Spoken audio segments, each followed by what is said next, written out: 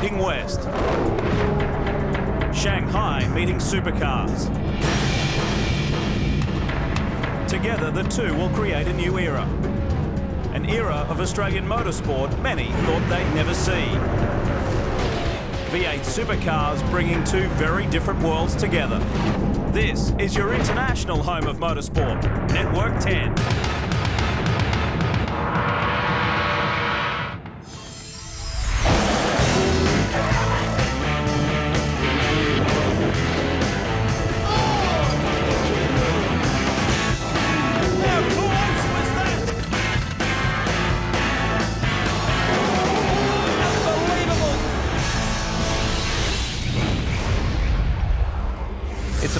Has fascinated the West since Marco Polo arrived there 700 years ago. Exotic, mysterious, and massive. Today, it is still as great a challenge in many ways as it was all those centuries ago. But there are few bigger culture shocks to the people of China than the roar of a fleet of V8 supercars and the outrageous antics of the men who drive them. Hello, I'm Bill Woods. Welcome to this special event in the history of Australian motorsport. Today you'll see a V8 Supercar Championship round in Shanghai. There have been several touring car expeditions overseas since that brand of racing took root in Australia half a century ago. Ever since Tony Gaze, Stan Jones and Lex Davison took an old Holden on the Monte Carlo Rally in the 1950s, our leading drivers have been competing in international events all over the world.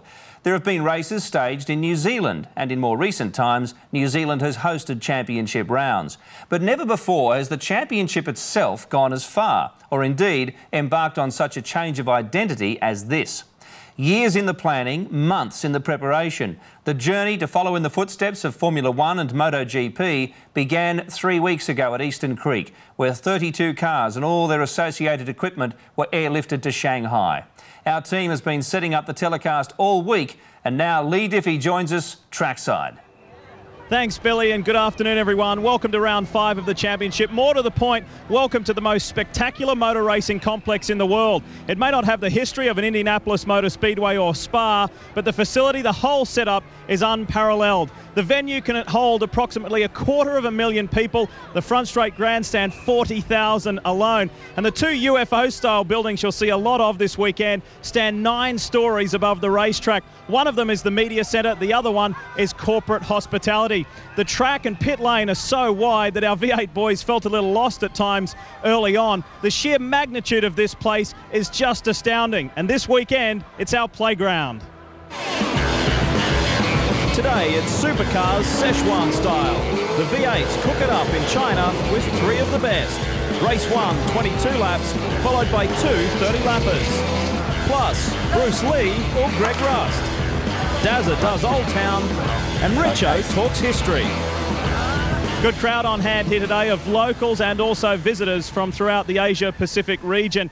As you can imagine, this was a massive undertaking for Avesco, carting 32 V8 supercars and everybody involved with this championship from Australia to Shanghai. And to get a closer look at this, we sent in our own Lieutenant of Logistics, Neil Crompton, to take a closer look.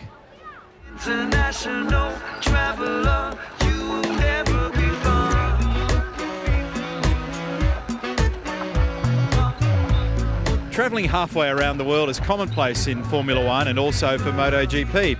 But for V8 Supercar, taking 32 of our cars, all the spare parts that go with them, and of course the support equipment from here at Avalon in Victoria direct to Shanghai, China, has been something of a massive organisational and logistical challenge.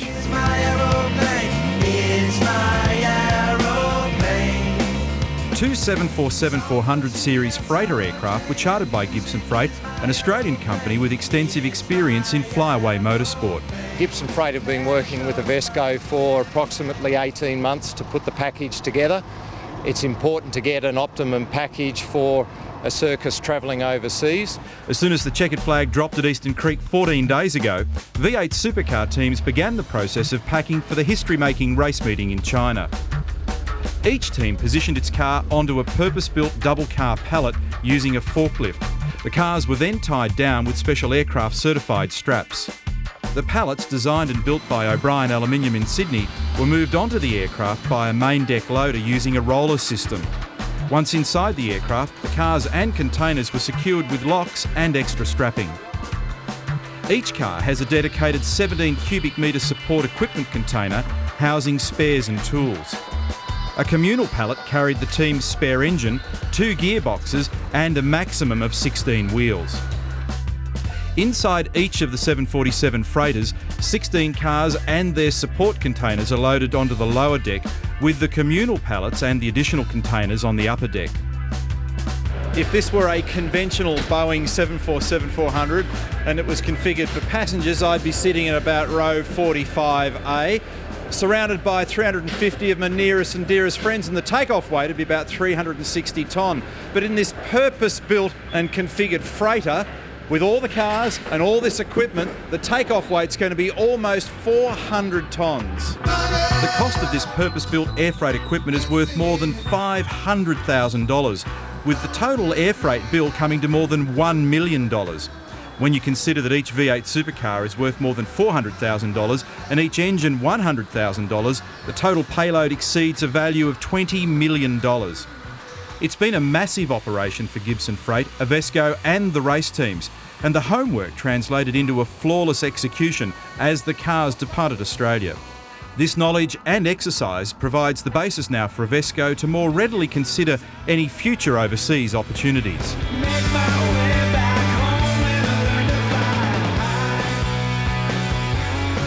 He's not really our lieutenant of logistics. He's our V8 supercar expert commentator, Neil Crompton. Uh, I never thought I'd say good to see you in Shanghai. Neither did I. It is really quite extraordinary, and it's not just a question of it being an amazing racetrack. This is an amazing sporting stadium. It can hold its head up amongst anything that we see anywhere in the world. Let's have a closer look at it.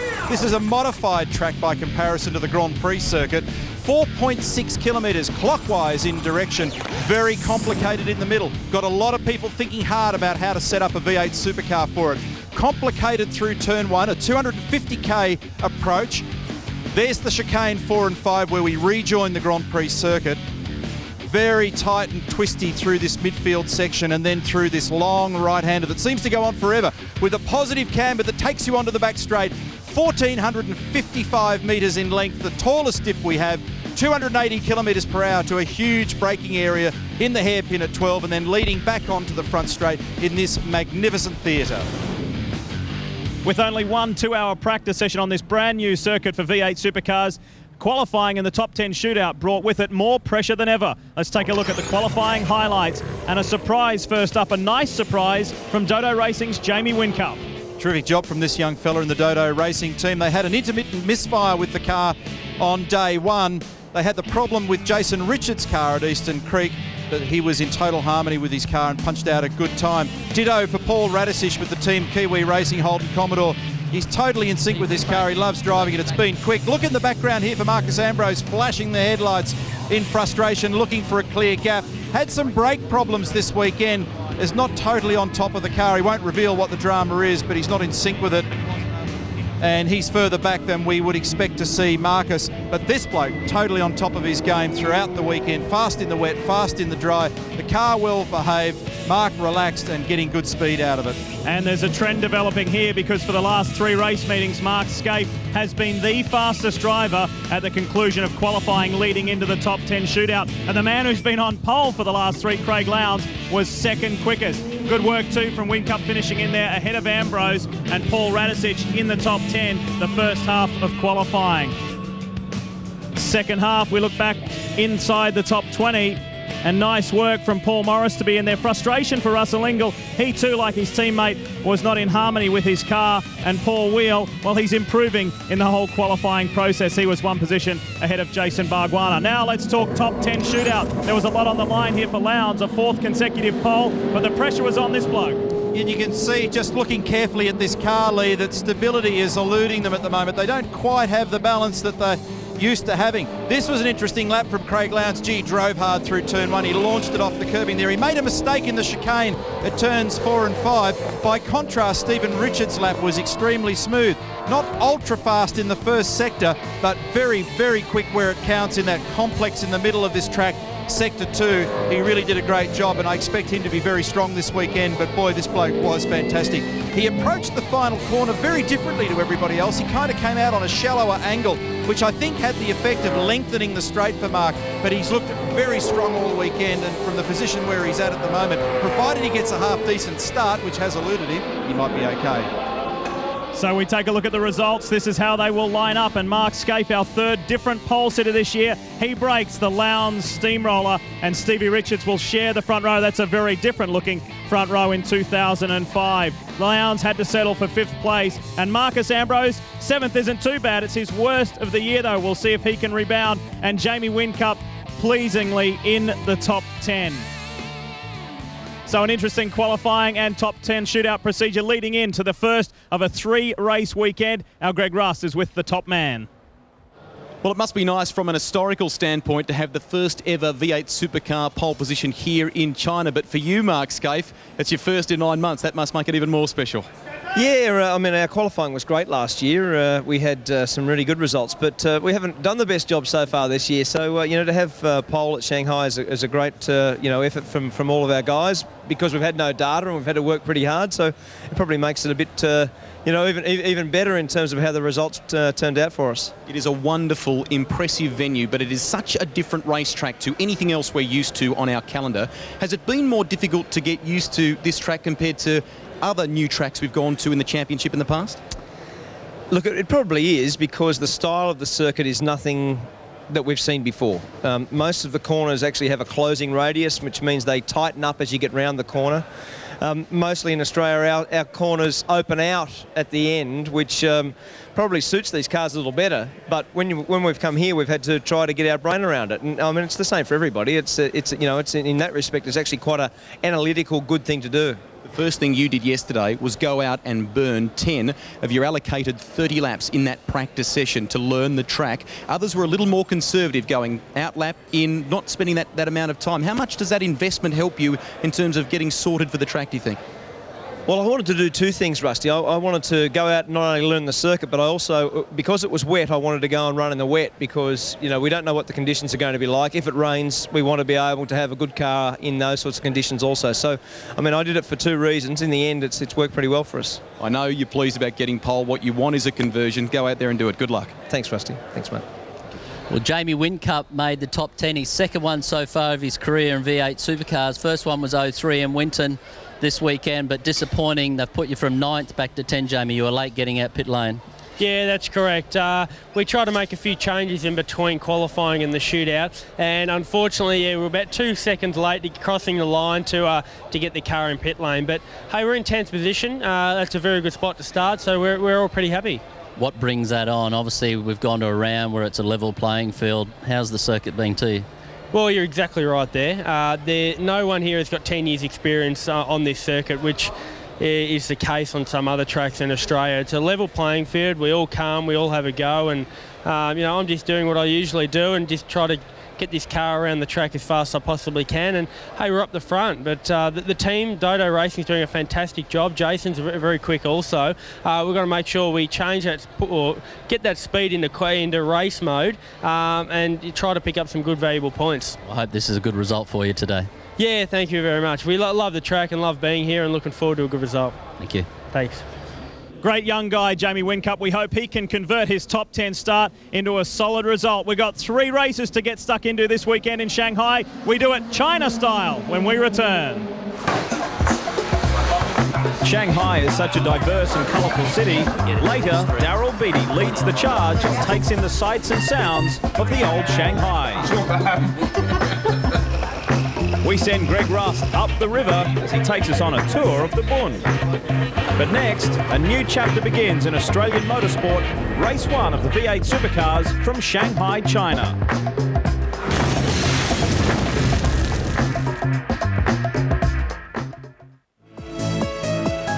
The bright lights of Shanghai provide a stunning backdrop to the V8 supercar adventure in China. The city embraced the drivers and teams in style at a grand official welcome in Shanghai's most eye-catching landmark, the Oriental Pearl TV Tower. To be here like tonight and uh, you know to really feel the uh, you know the warmth that the um, the Chinese have put on for us, and looking forward to getting the car. A little bit of a dream up to date. I think um, all the drivers and teams are pretty happy if um, we don't actually work at the racetrack this weekend and, and continue looking around. Everyone's pretty excited, and most people are actually um, visiting Shanghai for the first time this year, so everyone's enjoying it a lot. The road was hard, but look, we're here. Have a look at this. How good's this? The cars have arrived. The plane didn't crash. We all got a good seat. We've lobbed here. We're drinking beers. We're having the time of our life. The welcome reflects China's determination and passion to develop top-level motor racing as a popular sport for its people. Team owner Gary Rogers could not have wrapped it up more succinctly or correctly than that. Everyone has had a great time so far, particularly the crowd. Look to the right of your screen there. There is a substantial crowd here to watch the first of three races this weekend. We are almost set to go racing here in Shanghai for the first time ever. But first up, let's talk the hot topic, the Zinger hot topic. We remind you that KFC Zinger Burger is the official burger of V8 Supercar Racing. To lodge your hot topic, all you need to go to is RPM Live TV. We encourage you to send in your questions and your hot topics. We congratulate round four winner Stan Burt from Newtown in New South Wales. And his Zinger hot topic for Neil Crompton is how does an international round benefit the sport? Crompo? It's a question that's being asked by a lot of V8 supercar fans. It's a very good question, and I think the answer is a kind of multi-layered answer, this one, because clearly it uh, focuses international motorsport and general community attention on V8 Supercar, which is a great thing. It probably opens up a number of other commercial opportunities for race teams, and that's very important. And I think one of the points that's been a little bit overlooked from time to time in this discussion is that uh, the series is not about to embark on a mission to take uh, the whole circus overseas on a repeated basis. The charter that the Australian V8 Supercar Company has with CAMS is for uh, a minimum of 10 domestic races and uh, a maximum of four away games. And of course we go to New Zealand and now China. So there still could be potential for uh, some other trips away, but uh, will always be a domestic series. So these are real just you know highlight events rather than us taking away our precious sport from Australia. Let's deal with a couple of key issues uh, coming out of the drivers' briefing, which was a very interesting drivers' briefing. We were there, and I'll let you explain them, Crompo. Well, quite a few of the drivers have been talking about the incident in race one, turn three at Eastern Creek, and they were seeking clarification from the investigating and prosecuting officer Peter Wallerman and driving standards observer Colin Bond. They wanted to understand their interpretation of what happened, and Colin explained to the 32 drivers that, in his view, shared, I might mention, by Peter Wallerman and others uh, in the stewards camp, that Mark Skaife was the overtaking car as they exited turn two on approach to the right-hand turn three. And as such, he needed to afford racing room to Marcus, who was fully pinned up to the right-hand side of the circuit, couldn't go any further to the right. And uh, it wasn't an under-braking or B-pillar scenario. And uh, the emphasis that they wanted to provide the guys in the room was that uh, they only look at race two if you need an example of how people can go side by side through that corner, like, for example, Skaife and Richards in the second race, and that's what they were looking to do. The other one was about the restarts at Eastern Creek. Craig Lowndes was at the point of that. Yeah. Well, Craig was trying a technique, and you see it in NASCAR a bit, where he's trying to just confuse the field and blast away by jumping on and off the brakes and up and down uh, on the accelerator. And uh, that caused a little bit of mid-pack drama as people were splayed off in all directions trying to avoid the rest of the pack bunching up. So they've ruled out those kinds of activities at the restart and they've asked the drivers to, once they make the determination that they're going to go, once they launch, that's it. They can't back out of it. Three race format this weekend. The first race, 22 laps. The following two are 30 lappers. This one kicks us off. And there you see the pit window, 5 to 15 laps for this 22 lap event.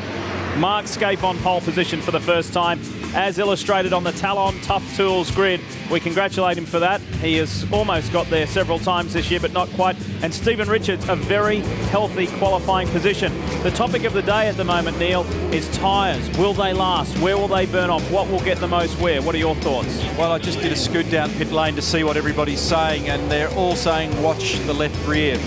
I think tyre wear could be an issue here. Certainly the tyres are degrading lap on lap in their speed.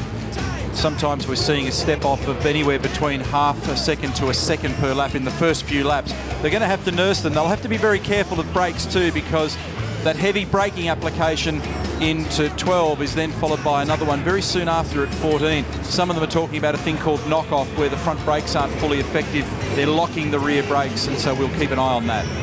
Temperature is currently 28 degrees, Neil. On track, it is 38. I've just run past the chairman, Tony Cochrane. Big smiles on his face. A huge moment here. Big crowd. Awesome. Quite often the phrase, this is history in the making, is used all too often or loosely, but this truly is. V8 supercars offshore in Shanghai, China for the very first time. And so far this weekend, so good.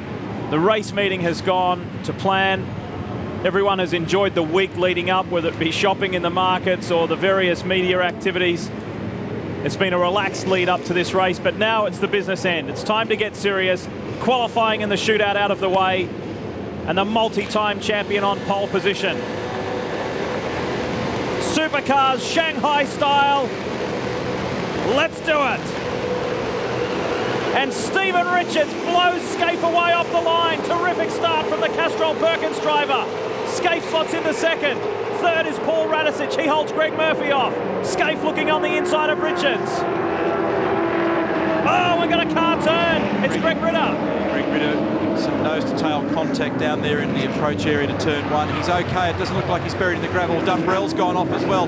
He's on the access road trying to crawl back on. He went off there on Friday and it caused some drama.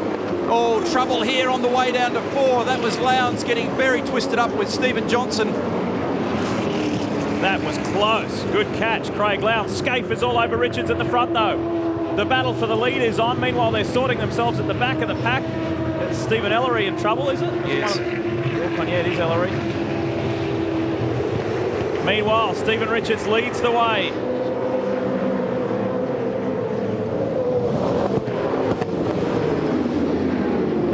Skaife another ordinary start. He won't be happy about that. You don't want to give away that pole advantage. They don't come to you terribly often in this business. Lowndes is sliding around. I think he's got a problem. Jamie Whincup is tucked in there as well. He's ahead of Stephen, Stephen Johnson, rather. Radisich has got Murphy and Kelly on his heels. Ingall trying to regroup. He's already got past Jason Bright. And here come the hungry pack. First time down the in excess of one kilometre long straight. Murphy. Oh, yes, I think he's far enough up the inside of Radisich and carts Paul out wide and that'll allow, I think, Todd Kelly to come up and take a spot as well. Marcus is in there as well. This is the final corner onto the pit straight. Very costly there for Paul Radisich. Two positions lost, possibly even three as Ambrose zeroes in. But up front, it's Richard Skaife. First lap down of the 22. Team boss David John at Team Kiwi Racing just prior to the start of this race, and his concern was that the Team Kiwi Commodore may be compromised in horsepower terms. He said the front straight and that 1.4k back chute is where it would hurt them the most.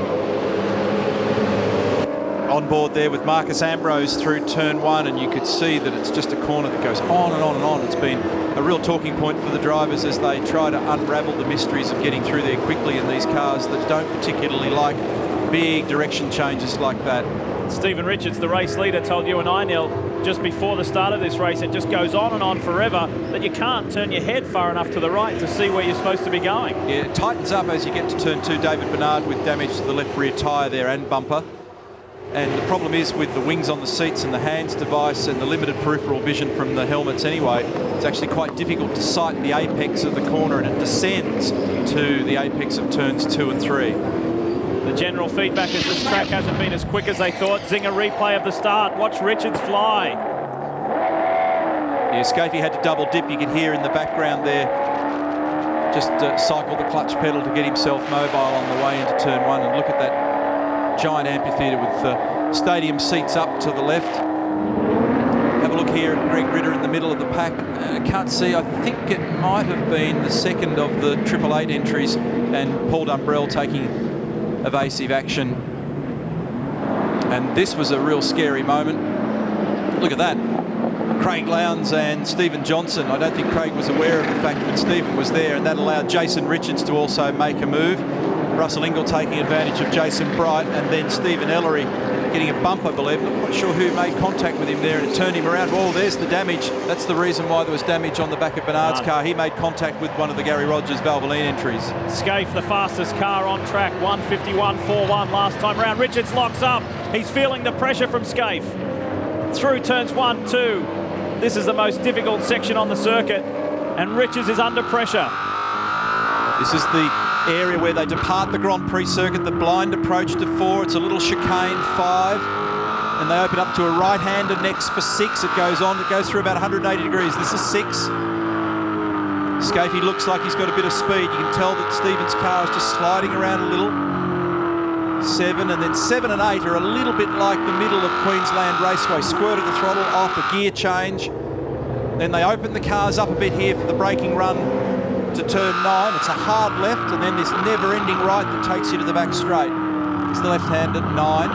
Big direction change here. Some cars not handling it well. Gear shift. There it is. And then there'll be another one also with load on the car that takes them to this massive back straight. From apex to apex, 1,455 metres. Scapey in the gutter. I love that corner there, Neil. It's like a NASCAR track or like a motocross berm. They can tuck in and it spins sends them onto the back straight. Straight. Look at Scaife here. Rick Kelly is already in the garage. It's been a troublesome weekend for Team Buick. Oh, he just pitches the rears on the way in there. He's got a lot of pressure on Stephen. Some pedal dramas for Rick Kelly. I'm hearing him talk on the radio. And Besnard limping back. Pressure for Stephen Richards through the final turn beneath the media centre, completing another lap. The fastest man on the track so far is Skate at 51.4. They'll click those numbers one more time. Shortly, the pit window will open for the compulsory stop for tyres. No trouble with straight speed. Ah, straight problem. line speed. Problem. Oh, yeah, he has. Damage on the front there. Skaife. How significant is it? It's a fair old punch in the front left-hand corner of that car. Not sure where that happened. Does it affect the brake ducting and the aero on this car? Was it one of the tyre bundles? They have been hitting that one through turn three. Talk about damage, guys. Just quickly have a look at this tyre. If anyone runs off in the gravel trap, which a few have already, the rocks are tearing these tyres apart. So anyone that runs off into those and try to gas it up and get back onto the track quickly, the damage is quite significant with those rocks. Another problem for Greg Ritter here. As we look at that Dunlop control tyre, you can see the markings on it actually noted the tread depth on the tyre. They start out with four millimetres of uh, slick racing tyre tread depth available to them. And I think in particular the left rear tyre around this track is going to take some work today. Behind Richards and Skaife, it's Todd Kelly, Greg Murphy, Radisich, Ambrose, Lowndes, Jason Richards 8, Jamie Whincup 9 and Russell Ingall 10. The tough start to the weekend for car 15 continues. Rick Kelly, the depression that he was talking about with one of the pedals before, Neil, is the clutch. They have a clutch problem in this car, and it looks like it's game over for the first race for him. We keep a watchful eye on the front end of Mark Skaife's HRT Commodore. The front left, look at it. Starts to just send little smoke signals at high speed, at maximum speed on the back straight, but through cornering, it's not too bad. That was a good shot of it. I, I don't think it's a major drama, but uh, I reckon you're right, Lee. He's clouded a tyre bundle at some point. So the order is Richard Skaife, Todd Kelly, Greg Murphy, Paul Radisich, Marcus Ambrose, 51-2 this lap for Stephen Richards, fastest so far.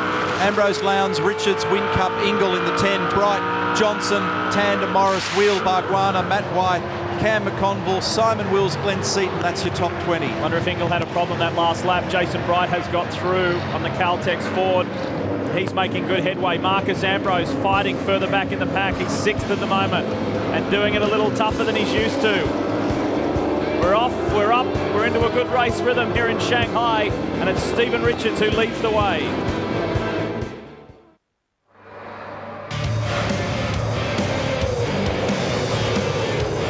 Stephen Richards has responded to Mark Skaife's challenge. He now holds the fastest lap of the race, but Skaife's pressure is relentless. He's not worried about that damage on the front left and continues to hound Richards. You can see the gap there, second to third. Todd Kelly has some catching up to do. That gives us a graphic look at just the enormity of this grandstand here as they click over another lap. Five down. 0.3 of a second was the official margin between these two into turn one. And this onboard shot just shows how far around this corner loops. They've got to get back to second about there, and then it ducks down to the right. This is the apex they're having trouble seeing, and then continues to descend through turn three.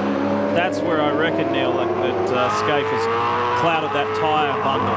Often if you're really close to the back of another car, very easy to unsight the apex of the corner and just whack the tyres. I think it's settled itself down, normalised. There's no problem with the brake ducting. It's further around the front bumper, and it was just having a rub at one point. Richo right on the limit there. The HRT gang will be able to take a look at it. The pit window is now open. 5 to 15 for the compulsory tyre stop. Big long stop here too, Lee. Excluding the stationary time, it takes 46 seconds to transit the pit lane here. In this race one, the shorter of the three races this weekend, they'll have started with between about 70 and 80 litres of fuel depending on their own individual consumption. The lap around here at 100% throttle, you only end up spending 40 odd percent of the lap flat out. It is They've just asked Mark Skaife whether or not he's being held up because if he is, they want to get him out from under the back of Stephen Richards. Richo's gone defensive, down to the hairpin. He knows that he's coming in this time round. Clear pit lane for Stephen Richards was the message. Look at Skaife hassling him, hounding him. Giving him some help along. And if I was Skaife, I'd do an extra lap or two here because you might actually make a net gain on Stephen. They're both in. I think Skaife's coming in as well. Greg. Just spoken to HRT team manager Rob Starr. He tells me that they've been glued to that monitor looking at the damage on Skaife's car. They're not overly concerned by it at this stage. Yeah, they've actually elected to leave him out, which I thought they'd do because uh, Stephen's in getting service. They're doing rears only by the look of it. Yes, pretty good stop. Marcus is in as well.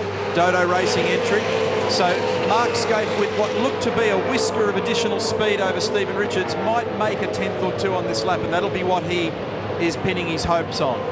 So Skaife now inherits the lead as the number one Pirtek Ford is in. Jason Richards running in the top 10. It's been a Holden dominated top 10 thus far with about eight of the top 10 for the General. Ambrose is gone. You've got to remember, guys, too, that Stone Brothers Racing, when they make adjustments on the run like this, Ambrose car comes good. He struggled throughout qualifying in the shootout because they've tried a different brake package on that car. They've now gone back to what they're used to. They said the car would be strong, so keep an eye on it. I think they did a pretty good stop then too, Daryl, because relative to Stephen, I reckon they actually closed the gap a little bit. Problem here Max Wilson. for Max Wilson, who was quick on Friday. Greg? An absolutely tough stop, a top, tough stop for Paul Weel. It took a, a, good 15 seconds. They had a problem with the right rear on that car, but contrast that with the pit bay right next door. The HSV dealer team, a brilliant job for Garth Tander, 3.38 seconds, and GT was gone. They renumbered the Max Wilson car to 328 this weekend because in Chinese it translates to profit and success. Not a bad idea. Well, hasn't working though. And you could hear Mark Skaife there talking with the boys, saying, you sure you don't want to do one more lap? They asked him to come in. Who is it that stayed out? Is it Todd Kelly or Mark Skaife? There's the answer. Skaife is in.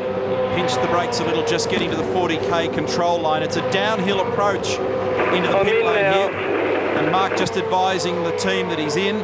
Such a long lane, they can't see him from there into the pit lane. Hey mate, we're down left-hand side. So they're going to do down the working side of the car, not the rears.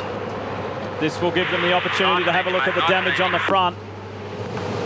Meanwhile, this is Lowndes in for his compulsory. A Little tricky down here too, boys, because it's concrete as they venture off the bitumen in pit lane. This is taking a little while longer for Mark Skaife. Seven seconds gone already. And they tend to slide a bit on the concrete.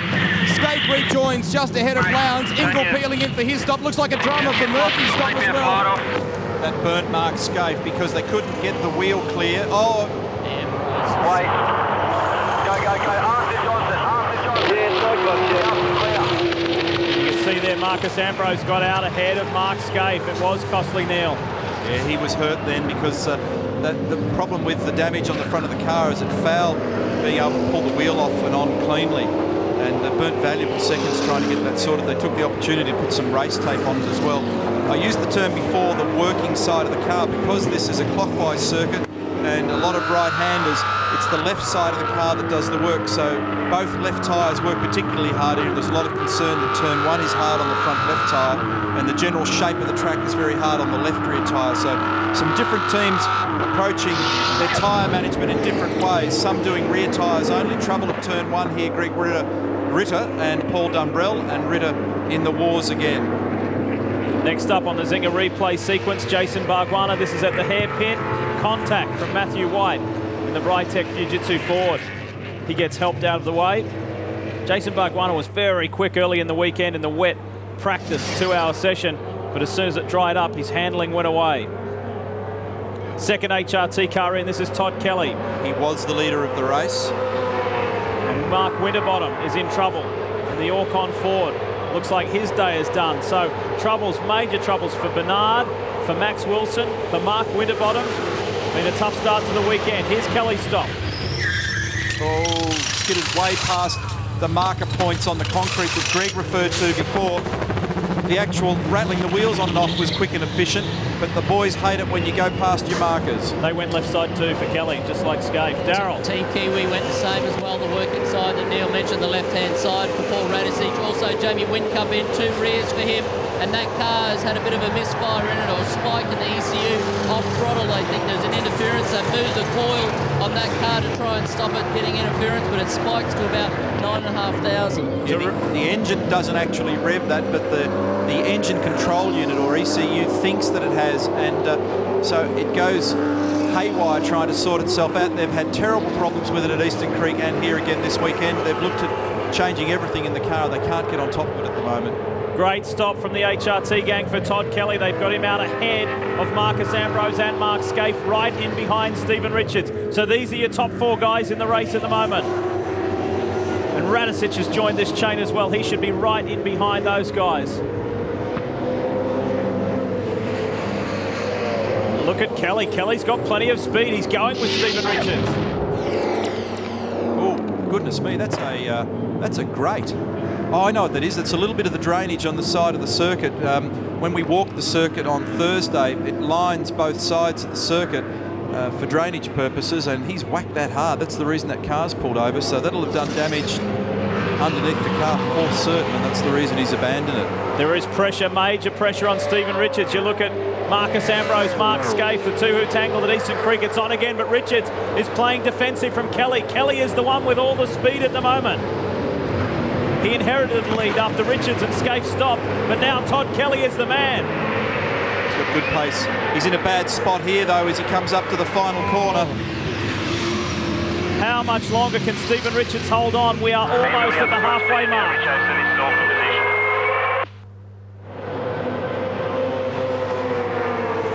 A lot of drivers are discussing how bad the behaviour of their cars already, and we're only, you know, not even halfway through this race. So if your car isn't working well on this, this track here in China, it seems to amplify whatever the weaknesses you have in the balance of the car. Todd able to use a shallower exit line then off turn three. This is the little chicane turns four and five. There's a lot of concern about drivers straight lining those and they've appropriately placed big tyre bundles right at the apex to keep them all on the black stuff. Good, good stop by Jason Bargwanna, and they've made some wholesale changes in terms of the roll center on that car. But in the meantime, I'm going to grab a quick word with the team boss, Mark Larkham. What's the diagnosis on Mark Winterbottom's car? Well, we only very briefly got a message before he came out of the car. He said something to the effect of something come through the car and the, the engine stopped. So Rusty really don't know much more at this stage. You may or may not have seen our, our replay, but it did look like a, a grate or something along those lines has popped up from the circuit. So he feels it's done some serious engine damage? Well, we really don't know. I just got that message. Something something came through the car and the engine stopped. So uh, really not sure what's going on there. Good luck, Mark. Okay, thanks, mate. Stephen Richards is doing his best to handle the pressure from Kelly. Kelly's weaving from side to side, looking for an opportunity, a line, an opening to get by. And the rules permit Stephen to move once, which he's done, to a defensive position. They discourage you moving back again, and if it's too aggressive, they will give you a bad sportsmanship or even a, a black flag. Stephen hasn't done that. He just stayed down the right-hand side, but clearly Todd's got pace at the moment. A little battle right behind is an interesting one as well between Marcus Ambrose and Mark Skaife. That has remained the same since those guys came together after their respective sequence of pit stops. Lowndes is starting to apply some pretty nice pressure on Radisich as well. Then it's Murphy tucked in behind those guys. 250 kilometres an hour on the approach to turn one, which is quite substantially uphill. Oh, and Richards locks up and it allows Todd Kelly to sneak by. He was there, he was hounding him, he was waiting, and he was in the right position. Nicely through. Todd Kelly, the new race leader. Car 52, Matt White's also going to get a black flag for that infringement down at the hairpin with Bargwanna, I believe. Yet to pit in this race, Paul Morris and the man Neil was just talking about, Matt White. Here's the Zinger replay move for the lead. It's where the second brake application comes to slow the cars down for, it's really all part of turn one, but it's officially called turn two. And when Stephen grabbed the brake pedal, it just locked up a little and carted him wide, that allowed Todd cleanly through on the inside. Kelly is not hanging around. He is waltzing away. Now we'll see if Stephen Richards can hang on because Ambrose and Skaife are coming on strong.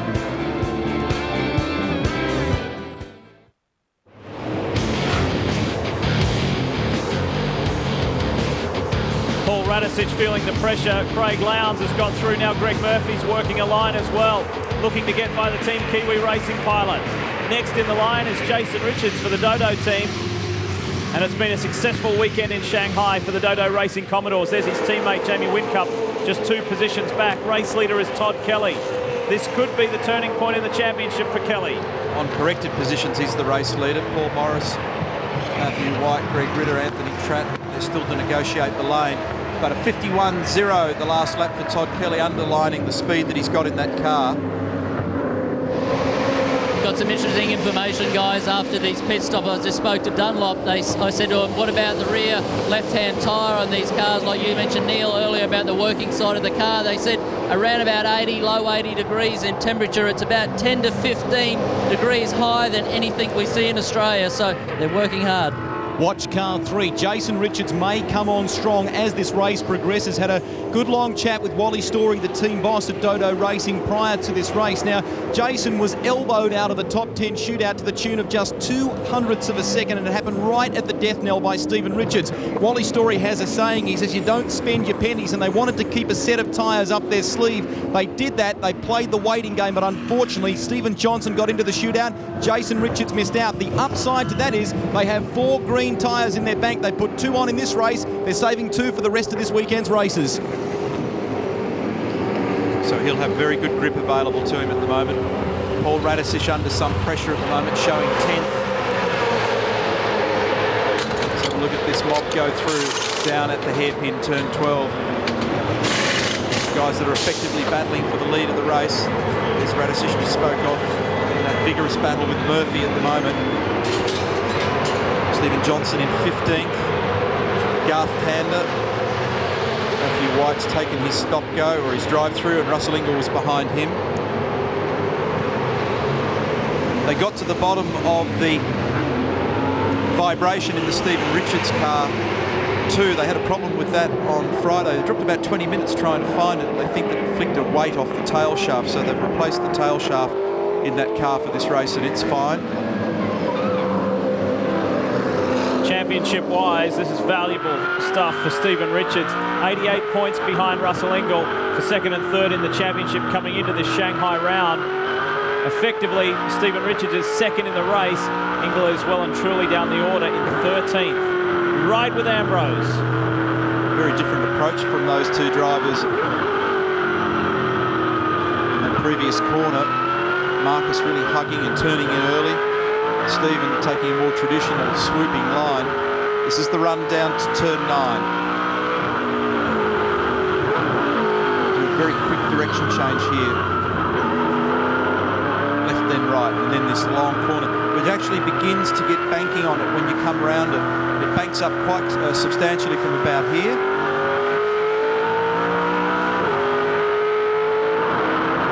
Rumbling over those ripple strips just shakes the fillings out of your head.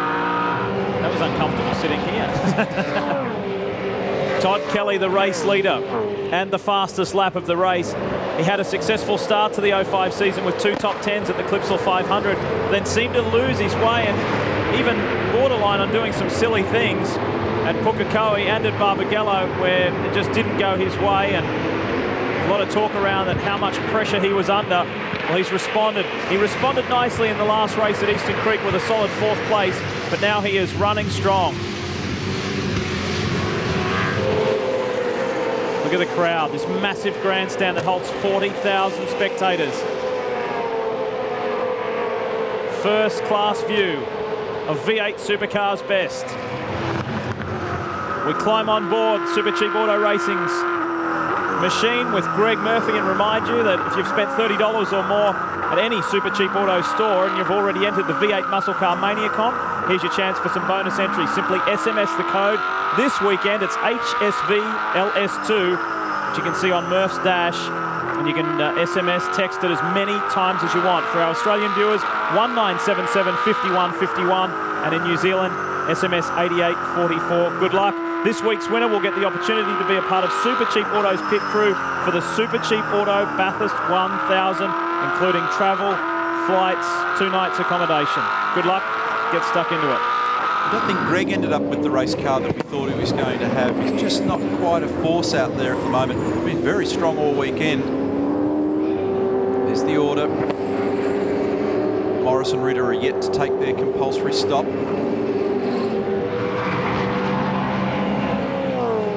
Ambrose just beginning to get a little closer now to the back of Stephen Richards. If you've just joined us, it's been a very uncharacteristic weekend for Marcus Ambrose. His worst qualifying, and when we say that, not being too dramatic, he started seventh, so it wasn't all too bad. But he uh, ran off yesterday and he's locked it up here. He spun there during qualifying. Skaife's got through. That's cost him one position, and he's been able to regroup. But now can he respond? Six highs getting wider as he got closer to the corner down there. And, uh, all of a sudden in the background you heard the rear brakes just locking up. Here it is from outside the car. Zinger replay shows. Actually, he went pretty darn close to giving Stephen a tap down there. It was an easy pass for Mark Skaife. No tyre damage done, but damage done in terms of his position. Looking at the battle for third, it's Todd Kelly, Stephen Richards, now Mark Skaife, and this man here, the Pirtek Ford. We ride with Marcus Ambrose.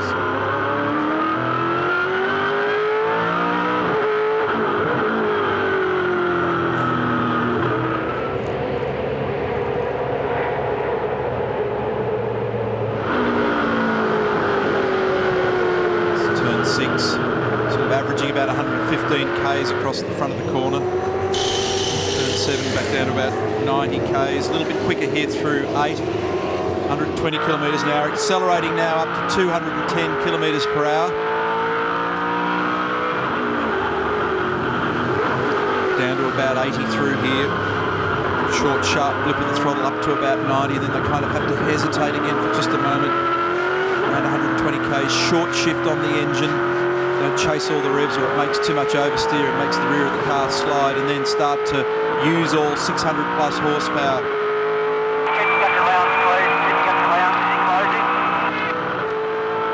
Paul yet to perform his compulsory pit stop for tyres. He needs to do that now as he comes in. 5 to 15 was the pit window, and that's exactly where we are now. Max, obviously there's an issue with the car. We saw some water run out the bottom of it. What's the problem? Yeah, it seems that it's just you know, a rod came from somewhere and just hit it, it went through the radiator and made a big hole in it. So we were losing water and the engine, engine temperature was going too high, so it had to stop, unfortunately. The engine's okay, other than that, just replace the radiator. Yeah, we stopped early enough, so the engine's okay. So it was just a shame the car was going alright and uh, we did not finish the race, so it's a shame. Thanks, mate. Thank you, Darren. Well, for the WPS 4 team, it's been a tough start to the weekend for you, David Besnard. Just give us your take on what happened. I don't know, Rusty. Everyone was sort of racing pretty hard there the first corner. All I'm trying to do is keep out of trouble so we can finish some races. And um, I couldn't tell you what happened. I got hit pretty hard from behind um, going into the corner and coming out of turn two. Someone just whacked me in the side, or turn three, I think it was. Someone just whacked me really hard in the side, and I climbed over their front wheel and it's, um, put us out. So Initially, you were concerned by the Watts linkage, but at the end, was it a power problem, a battery problem? I haven't looked at the wheel, but it must have broken the wheel because it had that feel about it when you break a Watts linkage. It was wandering all over the road, then the tyre went flat and I thought, oh. So we limped back and um, all it was was a tyre and, and a wheel. Thanks, David. Thank you. Looked like one of the uh, Garry Rogers cars that came in contact with David Besnard from the replay we saw earlier. This is second place. Stephen Richards chasing down a two and a half, three second gap to race leader Todd Kelly.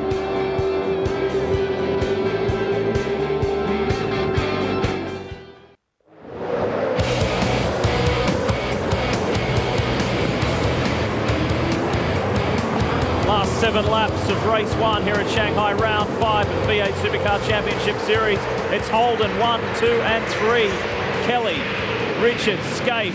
Then it's the Fords of Marcus Ambrose and Craig Lowndes, and Craig Lowndes has arrived on the scene very quickly. Yeah, he's got pretty good consistency at the moment. That car's rocking along pretty well, but he's running out of laps. We're, we're looking at the possibility of yet another race winner, officially in the championship at least this year. We know that Todd did well at the Australian Grand Prix meeting in Melbourne.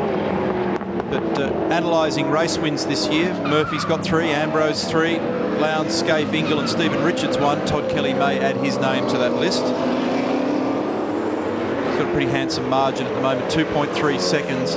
Last lap for him was a 52-1. Stephen Richards 52 even. Mark Skaife the same. Marcus Ambrose 52-3. Lowndes 51-6. So that um, underlines what you were saying, Lee, that he's quick at the moment. Not sure that he's going to be able to do too much with it. Then Radisich is sixth.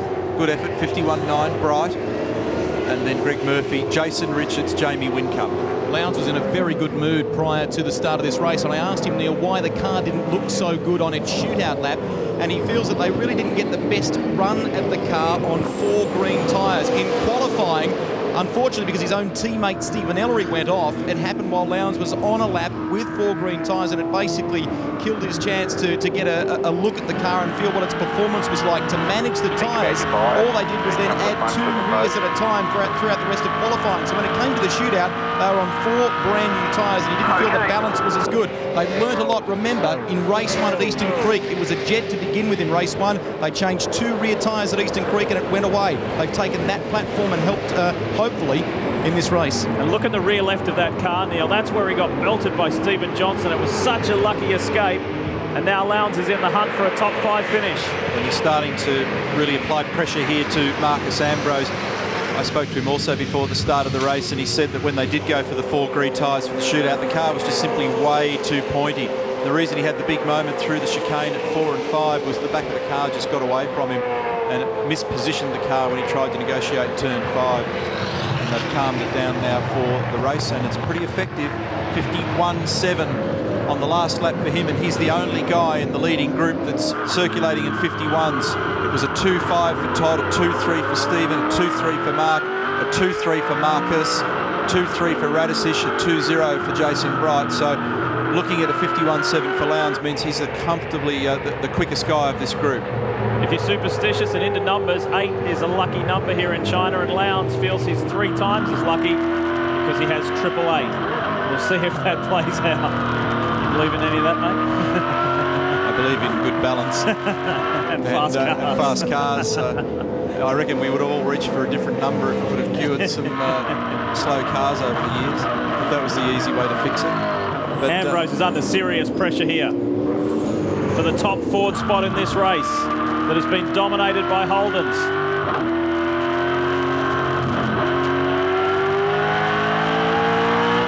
Listen there to Craig coming on onto the back straight. It's interesting always to listen to the throttle work. This is as much a foot skill, this business, as it is a hand skill. It tells you a lot about the behaviour of the car and the style of the driver. Let's have a look here with Craig.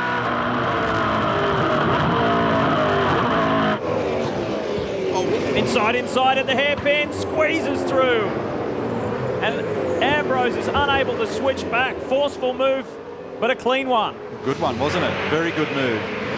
Opportunistic move, snuck down, ducked out at the very last moment, and he made it stick, didn't block a break, no contact.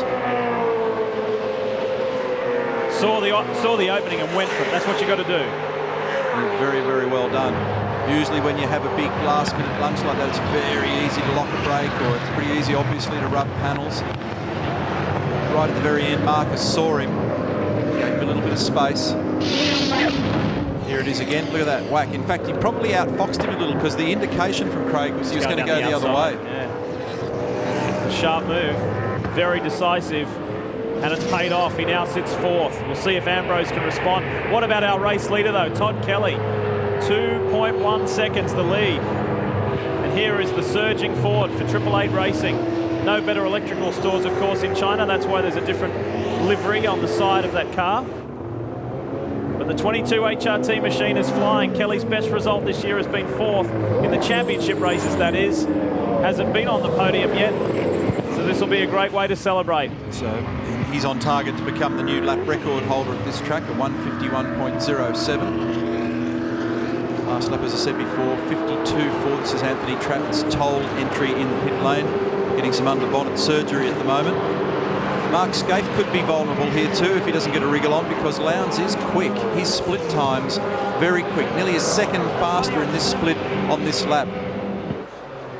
Coming good towards the end of the race, the Triple Eight Falcon. Kelly, Richard, Skaife, Lowndes, Ambrose, Radisich, sixth. Bright is seventh, so he's coming good too. Murphy is slipping, he's sliding down the order. Is he having tyre trouble? They were talking to him before about making a change. Steve Henderson asked, is it worth having a fiddle around with the rear anti-roll bar in the car to get it to behave a bit better? So I'd say his balance has gone away.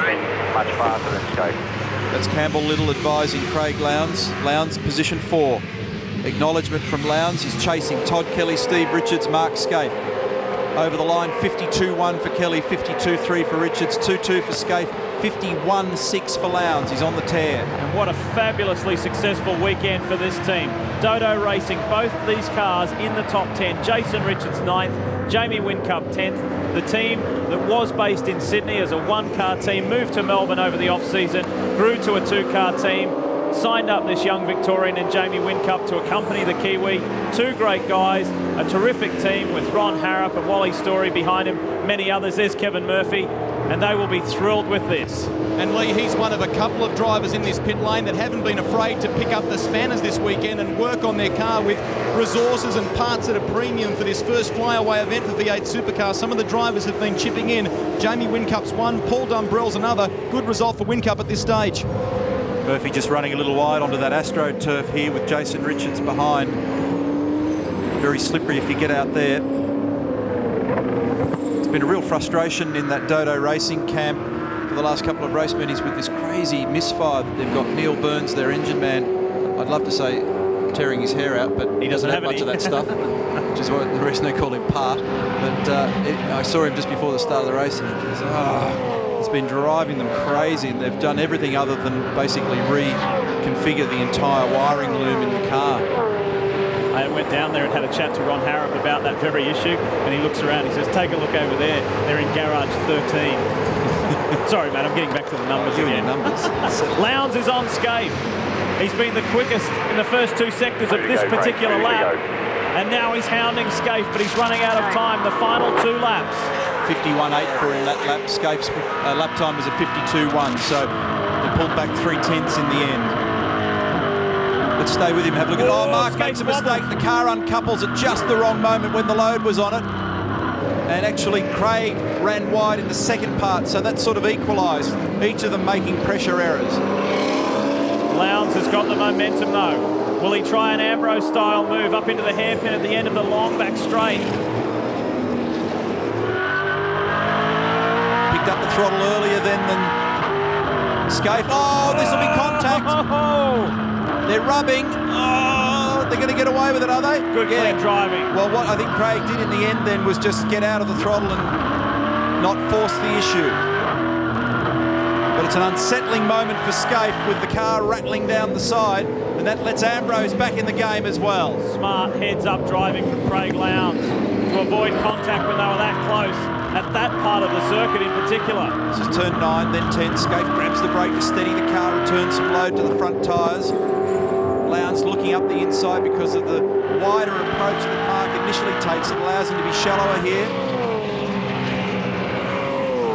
Is this Lowndes' opportunity? This is where he got Ambrose. Skaife knows it though. Sitting in the middle of the road, heading to the right-hand side, the defensive option. Anthony Trapper is the slower car off to the right. Skaife defensive. Richards in the foreground. Good speed across the face of the corner there from Craig Lowndes. The car gets over the curbing well. Well, over and under here. He'll try to over and under. onto the front stretch. Last lap coming up. First race of three. Gets a good run out. He'll try and have a shot at Skaife into turn one. Lap, mate, last lap. Hear how early Craig picked the throttle up then. He's just trying to force the car into a position where he just make a tiny positional gain on Mark Skaife. That piece has dropped out the front left the side of his air dam. This is where they both made a little error at the previous lap. Initially Mark and then Craig. Ambrose right with them. Lowndes will take a shot at him again. Watch this, he's right with him. This is where he tried the move earlier on the previous lap. We're engrossed in this battle. We should give some credit to the rat, Paul Radisich. He's immediately behind this with Team Kiwi Racing and running in a very solid sixth position. 1.9 seconds Todd Kelly enjoys over Stephen Richards at the moment. This is where the heat is. They're on their way home. The first ever V8 race in Shanghai, China. And it's been a good one. Todd Kelly is on his way to snatching that first win. But can Lowndes get Skaife? Does Ambrose have anything to offer? Time and distance is running out. They're all getting hungrier. They get right over the top of the curbing there, trying to find ways of generating grip, cover the other guy, look for a little advantage. Skaife out in the gutter on the backside of the Vallelunga curbing there, almost running out of road. Lowndes is not close enough. He's not close enough there. Will he over and under like he did Ambrose? He's not close enough. No. Skaife should be able to hold on to this position. And Mark turned in pretty early just to make sure that there was no gap there. I think he's okay. But a terrific pressure race from these guys. It's been a long while for Todd Kelly. Hidden Valley a year ago, more than a year ago. Kelly wins the first ever race in Shanghai. Stephen Richards second, and Skaife hangs on to third. Looks like it's some fun. And we all finished. Good rear. Pick up on that one. Yes, subtle message there. Subtle message from Craig Lowndes to the universe. There's Robbie Starr and the HRT gang. A 1-3 result. That will please them. It's a Holden 1-2-3. Stephen Richards for Castrol Perkins in second. Then Lowndes, Ambrose, Radisich, Bright. A solid result in seventh. Richards, Whincup and Murphy. Top 10. But it's Todd Kelly's day. Well done, Todd. Very impressive performance. Credit to the pit crew as well, who serviced him in very, very slick style. Popped him out right behind Stephen Richards, and then he forced the issue with Richards in turn one, forced his way through, and drove away to victory. That will take some of the heat off him, some of the pressure. As we take a look at our VB scoreboard, we know who the podium men are, and then Ford, fourth and fifth with Lowndes and Ambrose. You have to give a huge pat on the back to the Dodo boys, Jason Richards, Jamie Whincup. That will bring a huge Shanghai smile to their faces.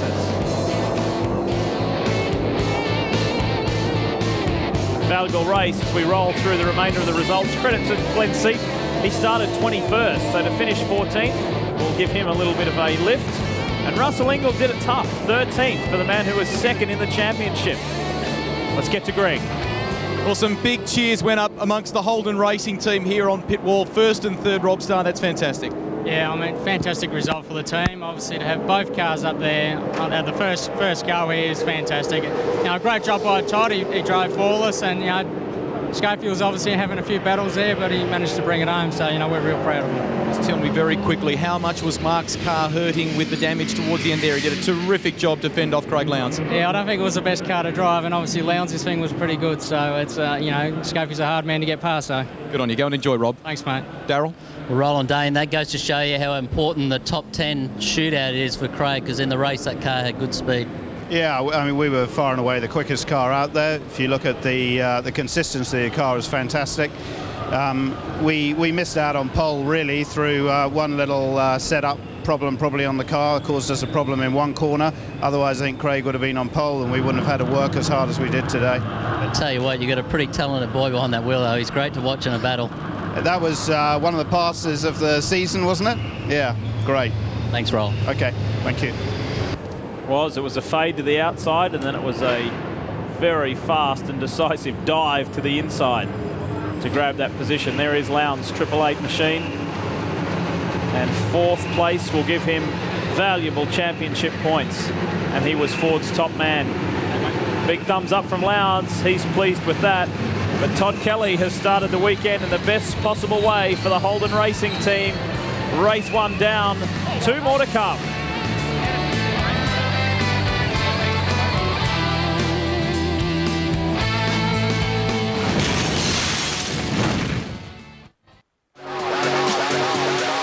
Sights of Shanghai that have captured the attention of the V8 supercar drivers is the unusual yet impressive Oriental Pearl TV Tower.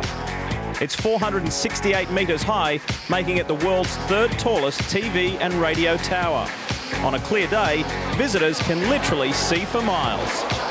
The ultra-modern tower combines ancient concepts such as the spherical pearls, which Shanghai is known for, state-of-the-art technology. Holden has dominated at this circuit throughout the weekend, and race one was no different. They got the hat trick. Time now to hear from our top three. Well, Mark Skaife, that was a fascinating battle to watch at the end of that race. What was the car like? Yeah, actually, it uh, it uh, lost some rear grip, Rusty, um, and it uh, was struggling towards the end there. But you know, I mean, it was a good battle with Lowndes. It was very fair, and uh, he was up the inside. We had a couple of little bumps and stuff. I mean, you know, that's that's the sort of racing that people pay their money to see or sit in their lounge rooms to watch, and uh, you know, that's that's what we that's what we're here for. Third place is a terrific way to start the weekend, but fantastic for the team. A one-three. Well, I mean, let's let's be realistic. First uh, time in Shanghai, you know, to be pole position and then to win the first race and run third as two cars on the podium, uh, you know, fantastic for HRT, and uh, it shows that we're on the way back, Rusty. Mark Skaife, congratulations. That's right. Richo, I guess you always like to get that first race out of the way out of the three. Good result. Yeah, good result. You know, we um, worked pretty hard to try and make it a good race car, and it was a very good race car. Struggled a little bit early on with the with a full of fuel, so be some uh, need of adjustment tonight.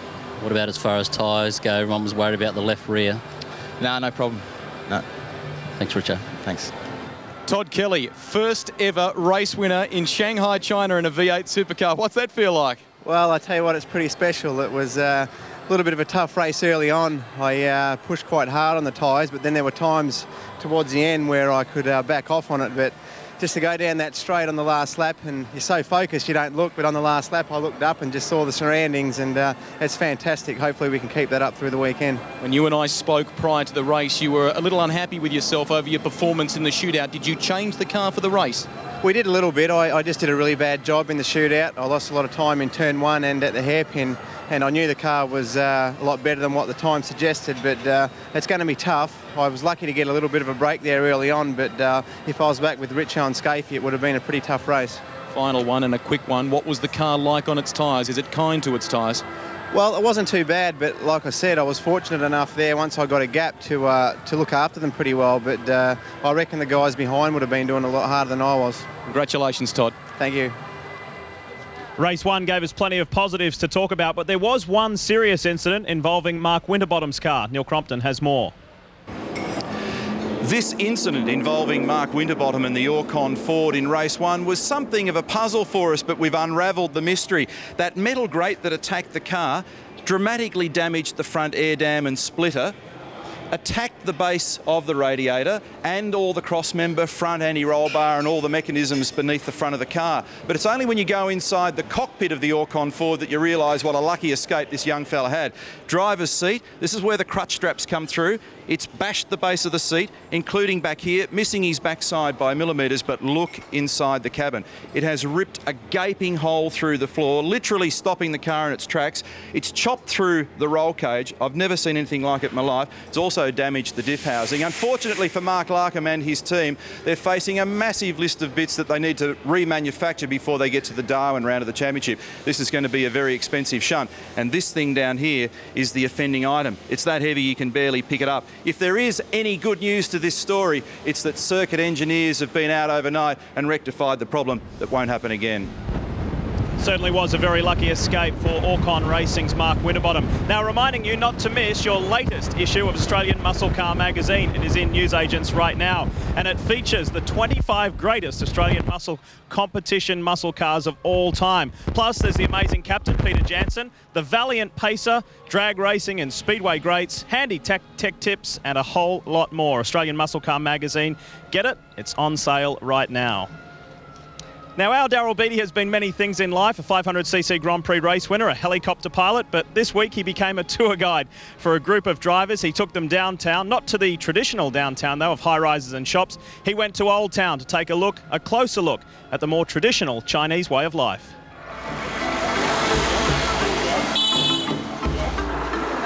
We're staying in an area about 30 minutes from here in a pretty nice hotel. Come down to the old district of Shanghai. I think the culture and what we can see here already before we get into these streets is going to have plenty on offer, so let's go and have a look. Roger that. Check it out.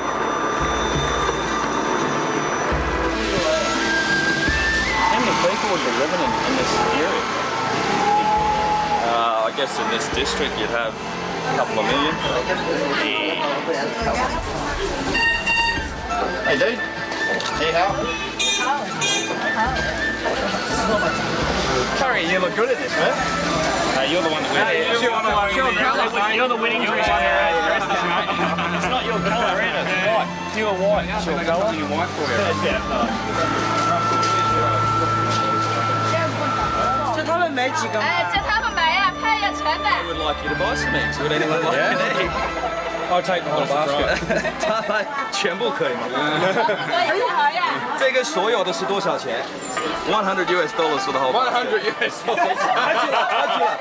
Well, they wanted 100 US at the end of 90. I reckon we can get them down to. If you get them for 60, 60 US, it'd be worth it. That's it, exactly. Actually, you take anything to throw eggs at Russell. Is this probably the most different? Oh, absolutely, easily. I mean, done a lot of, been to Europe and done a lot of the touristy stuff over there and seen a lot of that. And, now coming here and seeing China is just completely different to anything ever seen or experienced. Oh, oh, oh, oh. New bonnet scoop for Falcon. Yeah? Very good. Much air.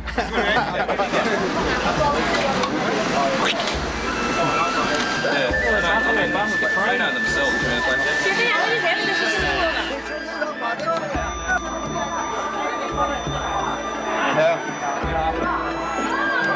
这个你们这个。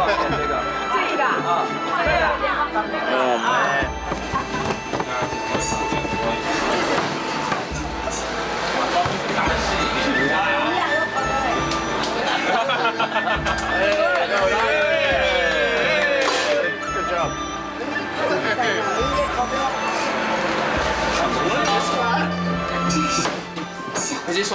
like a romantic dinner in You and I. You and I. The rest of them are scaredy cats.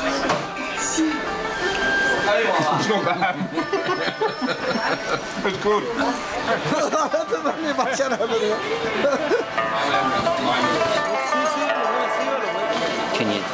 imagine people like this seeing V8 supercars, walking out of here and going to Shanghai on the weekend? Mate, I reckon they'll be a bit confused after a while, but then again, there's uh, there's a fair few different people in V8 supercars, so they might blend in pretty well.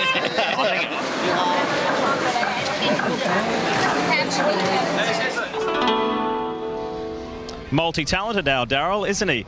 Now, the V8 Muscle Car Mania competition has been very popular this year, and Greg Murphy, on behalf of Super Cheap Auto, congratulates John Lippiott from Acacia Ridge in Queensland on winning round two of the V8 Muscle Car Mania competition.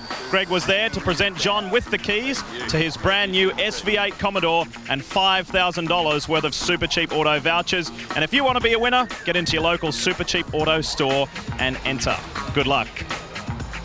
Now, he cops quite a bit of grief from us here on the Network 10 commentary team. We often tell Greg Rust he needs to take anger management lessons, but he needed to let off a little bit of steam this week, so he took Mark Winterbottom and Max Wilson along with him for a lesson in Kung Fu at the ultimate martial arts experience.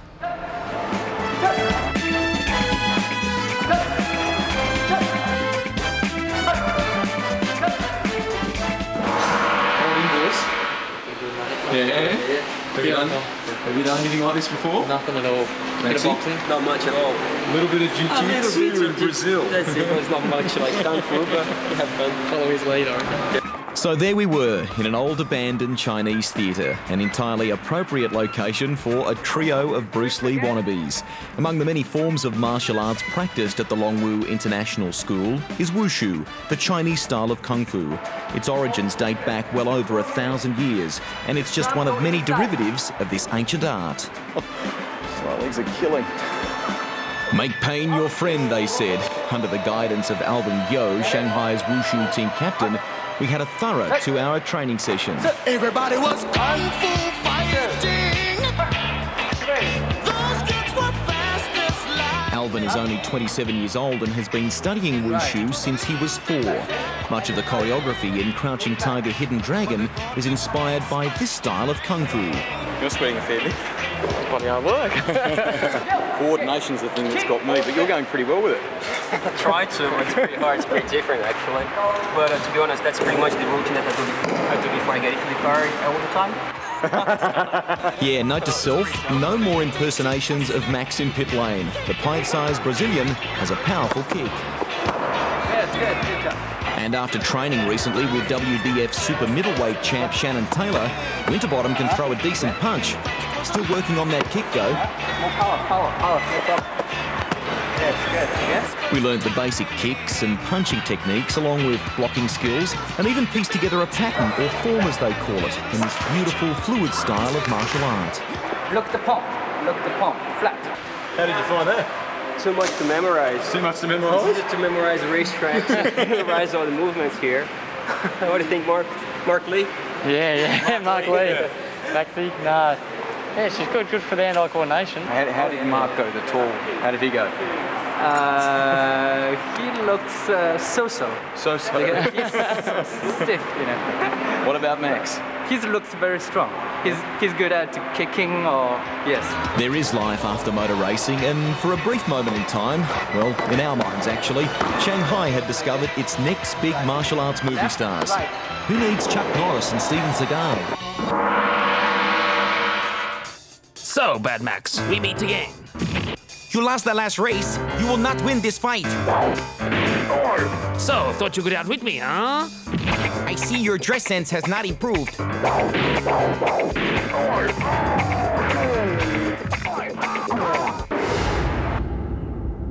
the one thing we have learnt out of this class tonight, you know what that is, Mark? I'm going to ask you, mate. What is it? No more short jokes about Max Wilson. Our ass. Absolutely. Thanks, mate. And we're very pleased to tell you that Greg is a lot more relaxed now. Now, at any good V8 race meeting, you've got a balanced crowd. You've got Ford and Holden supporters. But the Red Army seem to be back here in Shanghai. We'll see if they can get another right result on the other side of this break. Coming up, we send Greg Rust up the river as he takes us on a tour of the Bund. Steve Richards and I head down to a local tea house for some interesting cuisine and a candid chat about life in a motor racing family. Next, we're back on track for race two. This is the V8 Supercars from Shanghai, China. unfold and turn into the little mess that we've just seen. But on successive laps, both the HRT cars have totally uncoupled from the road through the fast chicane at four and five. On the previous lap, it was Mark Skaife had a moment. He was vulnerable again to Todd Kelly. On this most recent lap, Todd Kelly got way out of shape there a minute ago in the rear of the car. And uh, Marcos is now sweating. He's almost gone well. Did go straight ahead. Pit window is now open. They had and they had actually called him in. And I think he just forgot for a moment was going to have a lunge at Todd and realised he was due to come in. Race leaders in. Fourth place man is in. Yeah, just covered the rear of the car.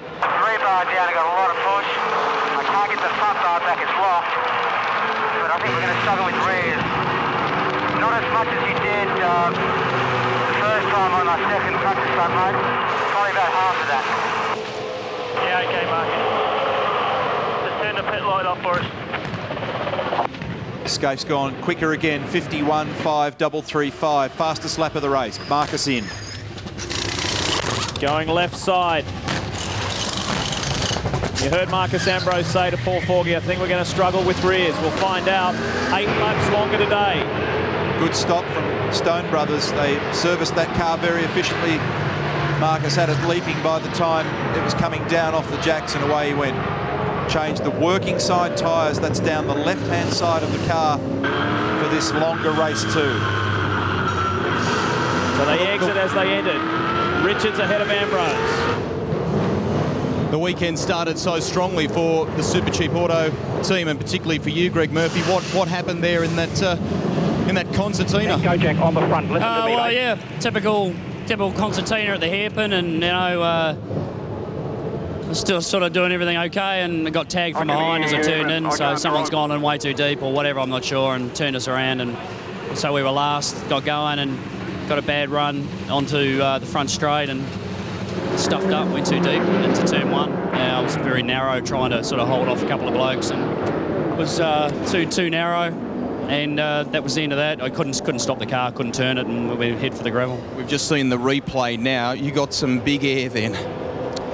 It felt like it in the car, don't worry about that. But, you know, it's just a disaster, actually.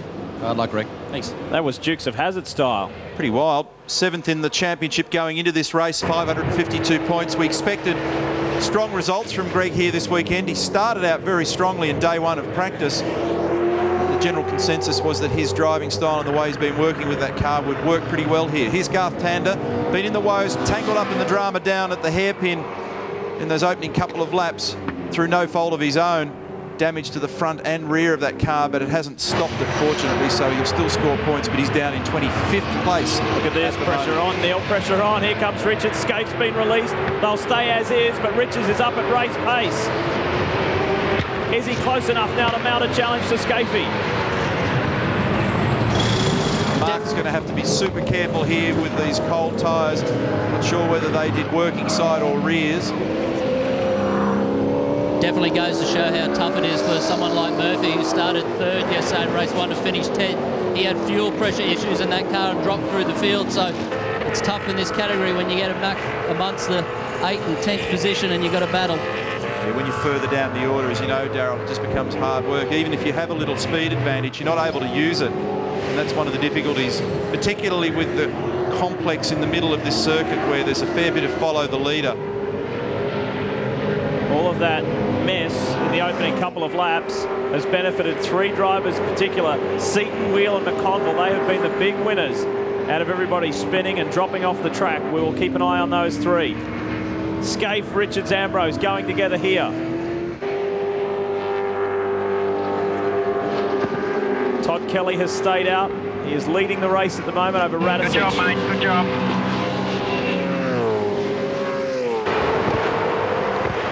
All of the top guys and leading teams now do such a great job of dealing with cold tyres and hustling the car in awkward circumstances. Whenever you've got two cold tyres on a car and two warm tyres, they're a real handful to drive. Todd Kelly in for his service.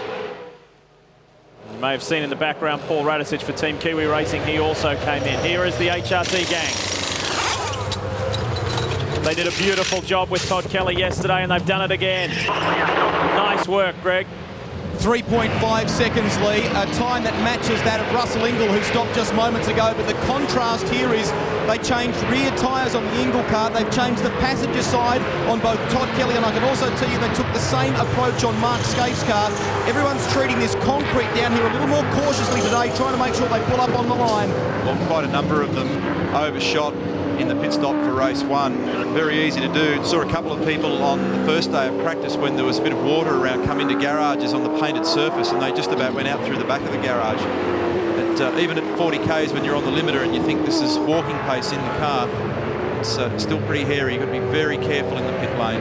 Those laps while Todd Kelly was out in front by himself may not have been as productive as they could have been because he's come out behind Marcos Ambrose. Ambrose didn't need to pass him on the track. He did it in pit lane. So that was easy work for the Pirtek Ford. Todd will just be resetting the anti-roll bars in the car, having a think about brake bias. Long run now from here on this half set of tyres that he's just taken on. Need to try and keep the car hustled along, but at the same time not use up anything too much. It'd be very easy to abuse the left rear tyre on this circuit or overuse the brakes. And uh, at the end of this big long straight that Paul Radisich is on at the moment, big hot stop here, stopping from just inside the 200 board. Uh, that's not bad enough, when you do the U-turn and come back out at 12, 13 and head up to the last turn, 14, it's another pretty big brake application there, and it's that second application that some drivers have been complaining about. Paul was talking about this after race one that it's this next stop that he's approaching where you get a little bit of what's described as knockoff, where front brakes are roaring hot, the pads settle back in the caliper, and when you apply the brake pedal, you get too much rear brake, so the back of the car wants to jump out. This is on board with Mark Skaife. Terrific shot. Let's have a bit of a look and listen. Turn one, we're just coming into the second part of it, second gear, turn two.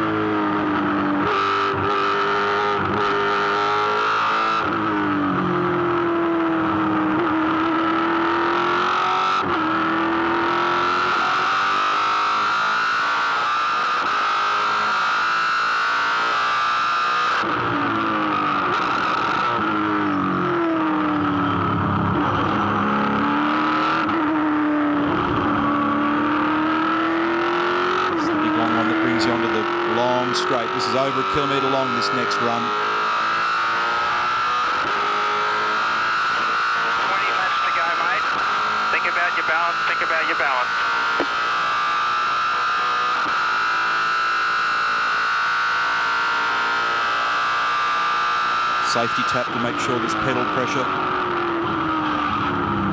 Lock the brake there. Overshot.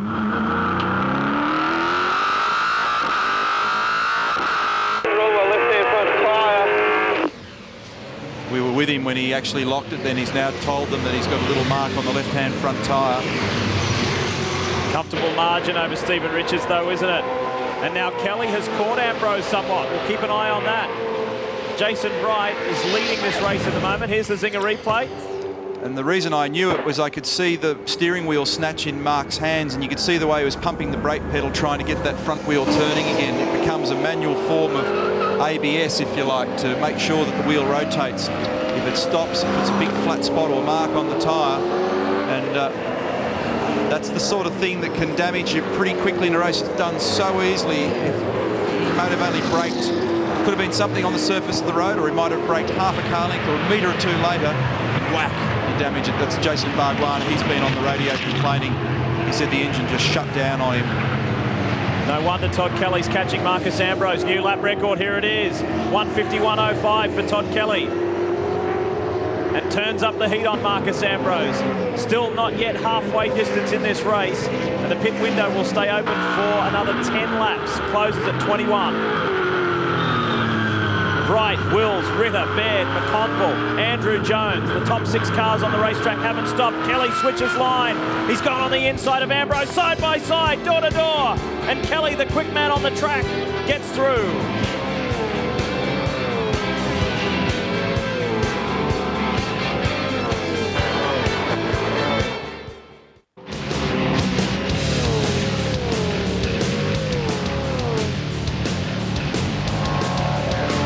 Was in race one, it is in race two. That is Holden, Holden, Holden.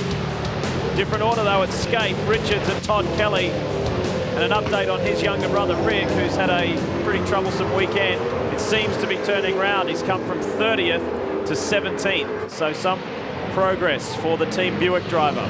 Going back to your question, Lee, about what, what does it feel like when you're flat shifting in the car? Little mechanism that just aids the drivers in this process. It's called a shift cut and it just momentarily interrupts the electrical or spark supply to the engine for just fractions of a second, thousandths of a second, and it enables the load to come off the gearbox for the driver to be able to make the shift through the pattern. And it just releases the load sufficiently so that you can whip the chains through. And of course, the, the real effect of that is that, oh, David Besnard's pointing the wrong way there in the Wright Patton Shakespeare Ford net effect of that is that the rear wheels drive for longer. So if you imagine you're boring down the back straight here, you're making the change from fifth to sixth. By the time you cycle the clutch pedal and lift on and off the throttle pedal, that effectively stops the rear wheels driving for some number of metres. It might be 10 or 15 or 20 metres. With flat shifting, it does still interrupt the drive, but for a very small period of time. It might only interrupt drive for a couple of metres in the back of the car. Getting back to the diversity of results in this championship and the variety of winners, which has been wonderful in season 2005. It reminds me a lot of the beginning of the AFL or rugby league season. Winners were so difficult to predict, and it's been that case in the V8 Supercar Championship this year. Zinger replay. Looks like David just got into the grey on the outside of the corner. The track is beginning to rubber up quite nicely now in this second race. You can see a distinct black line there, and it looked like David just got a little bit wide, got one or two wheels out and the grey verge where there's no grip, and he turned the WPS Ford around. I don't think there'll be any great damage done, but he'll have dropped some spots. He's down the order at the moment. We're almost at race one distance. It was 22 laps for the opening one this weekend. Oh, Skaife locked up there. Going into the final turn, there was a little puff of smoke. He'll have to be very careful with this because the tendency... not really gaining much now. It's That's Stephen Richards. The tendency will be for that flat spot to want to keep on getting worse. You have to be very careful in the way he applies the pedal. 52.7 for Skaife, 52.6 for Richards, 2.6 for Kelly, 3.1 for Ambrose, 3 even for Paul Radisich, 2.4 for Russell Ingall, so he's the quickest guy. 2.5 for Glenn Seton, quickest of the top 10 cars. So watch out for Ingall and Seton. Remember I said that early, just the it'll be the latter stages, the last 10 laps of this race that I think will be fascinating. The fellas that uh, have got a good balance in their car and look after their tyres will have a sharp arrow at the end. Look at the rat. He's closing in on Ambrose. Very pleased with this car, this team. Very comfortable. Some frustration, as I mentioned earlier, with the straight line speed or lack thereof. But they're got a bit of a smile on their face down that camp. They think they might have the updated Alan Draper engines, maybe even as soon as Hidden Valley. They may have one. Garth Tander getting out of shape down at turn 12 and runs off over the edge of the AstroTurf. No great damage done there, but uh, drops spots. Look at Kelly tucked in right in behind Stephen Richards, trying to maximise everything, trying to get any advantage. He can't quite creep any closer, and Skaife is doing it comfortably. Behind these guys, after Radisich, it's Ingall, Seton, McConville, and Jamie Whincup in the top 10. Greg Ritter and Ford Performance Racing are playing right to the very edge of the pit window. He's still officially the leader of the race, but hasn't done his compulsory stop for tyres. And that uh, opportunity will close out for him in the next lap. So they were obviously hoping for a safety car or something to help gamble their way up the order, which is a, which is often one of those games that you can play if you've had a tough weekend and you need to play a little bit of all or nothing. But today he's going to get nothing from that strategy. That's exactly what happened with uh, the Sirromet Commodore driver Paul Morris yesterday. He said, said at the end of the day, what happened? He said we were just rolling the dice, hoping for a safety car, staying out, but it didn't come. All things considered, brand new track and lots of little tripwires in this place and gravel to go and find yourself playing in. There's actually been very few in the way of major incidents. Uh, really no safety car intervention and no great dramas. The damage on the front of the car and the skirmish that he got caught up in was costly for Jason Bright, who was a top 10 runner in race one. He is way down the order in the 20s. This is a very productive weekend for the man we're riding on board with, Stephen Richards. Third in the championship, closing in significantly on Russell Ingall. Finished ahead of the two guys ahead of him in the championship in race one, and he's ahead of both of them now. So a nice weekend so far for the Castrol man. Team boss Larry Perkins didn't come up to China this weekend. Castrol team boys were very happy yesterday because crucially Stephen finished in front of his key rivals in the championship but also that the car was strong in the latter part of the race so perhaps we're seeing that form continue on. The track temperature for this race started out at 38 degrees. It has risen to 40. A lot of the data in relation to cabin temperature doesn't get fed back live, but the teams will monitor it between races. At the conclusion of yesterday's race, most of the cabin temperatures we were getting were 51 degrees, and you can only expect that it's even hotter than that today one guy yesterday, Greg, that was trying to fix that problem with cabin temperature, and it was a surprise was Stephen Richards. He said to me last night, he said, it's the first time ever I ran a cool suit yesterday. He said, boy, didn't it help? I love it. And today being hotter, you'll be enjoying that. they make an enormous difference and uh, some of them are equipped with like a skull cap and have little capillaries of ice water running through them and it's uh, if you turn the switch on it's amazing. It just uh, completely transforms you. Heat is the big enemy in the cars and the hotter you are the more it, uh, when your adrenaline's pumping it excites your heart rate. It's kind of a it's a diminishing drama. You just you know you just end up in a situation where you uh, get hot, you can't concentrate, you get hotter, your heart beats faster, it keeps on getting worse. So a lot of them now putting a lot more time and effort and thought into how to channel cool air into the car or run the cool suits and no good having the very latest in race car technology that finds you a tenth of a second if the guy's that hot that he can barely do the job and loses seconds huffing and puffing. Speaking of temperatures yesterday, Neil was also interesting. A few of them after the race was saying that they had sore eyes and they thought that the fuel blend or something about the fuel here was different. And Marcus was one of those, so that was interesting fastest fellow on the racetrack in the last lap or so, just looking down the computer order, was Jamie Whincup.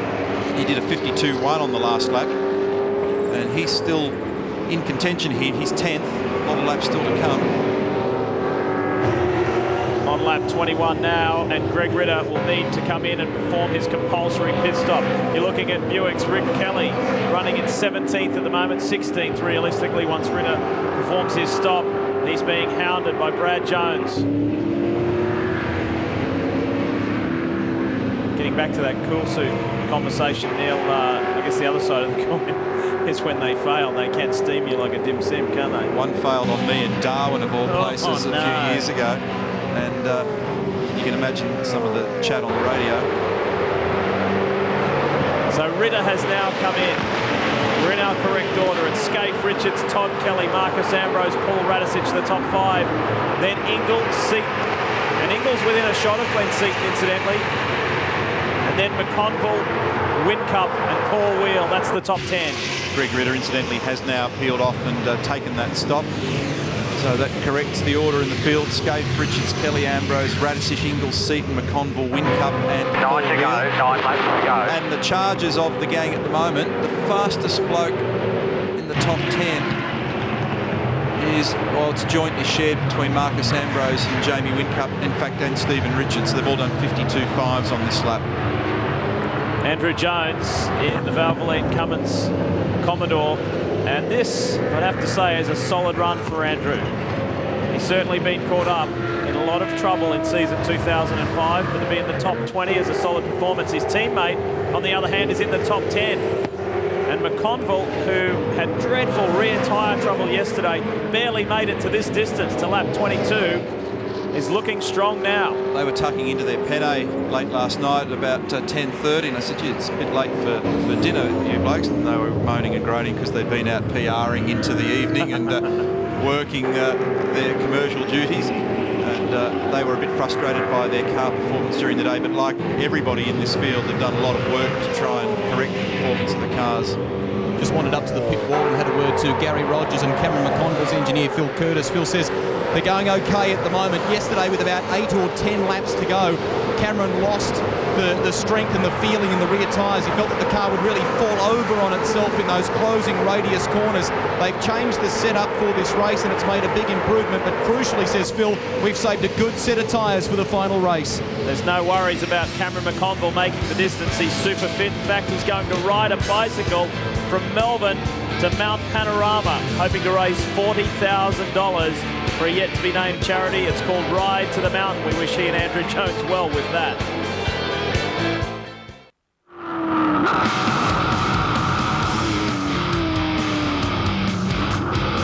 Ride with the race leader, Mark Skaife. He enjoys a handy two and a half second gap over Stephen Richards. Todd Kelly remains in third.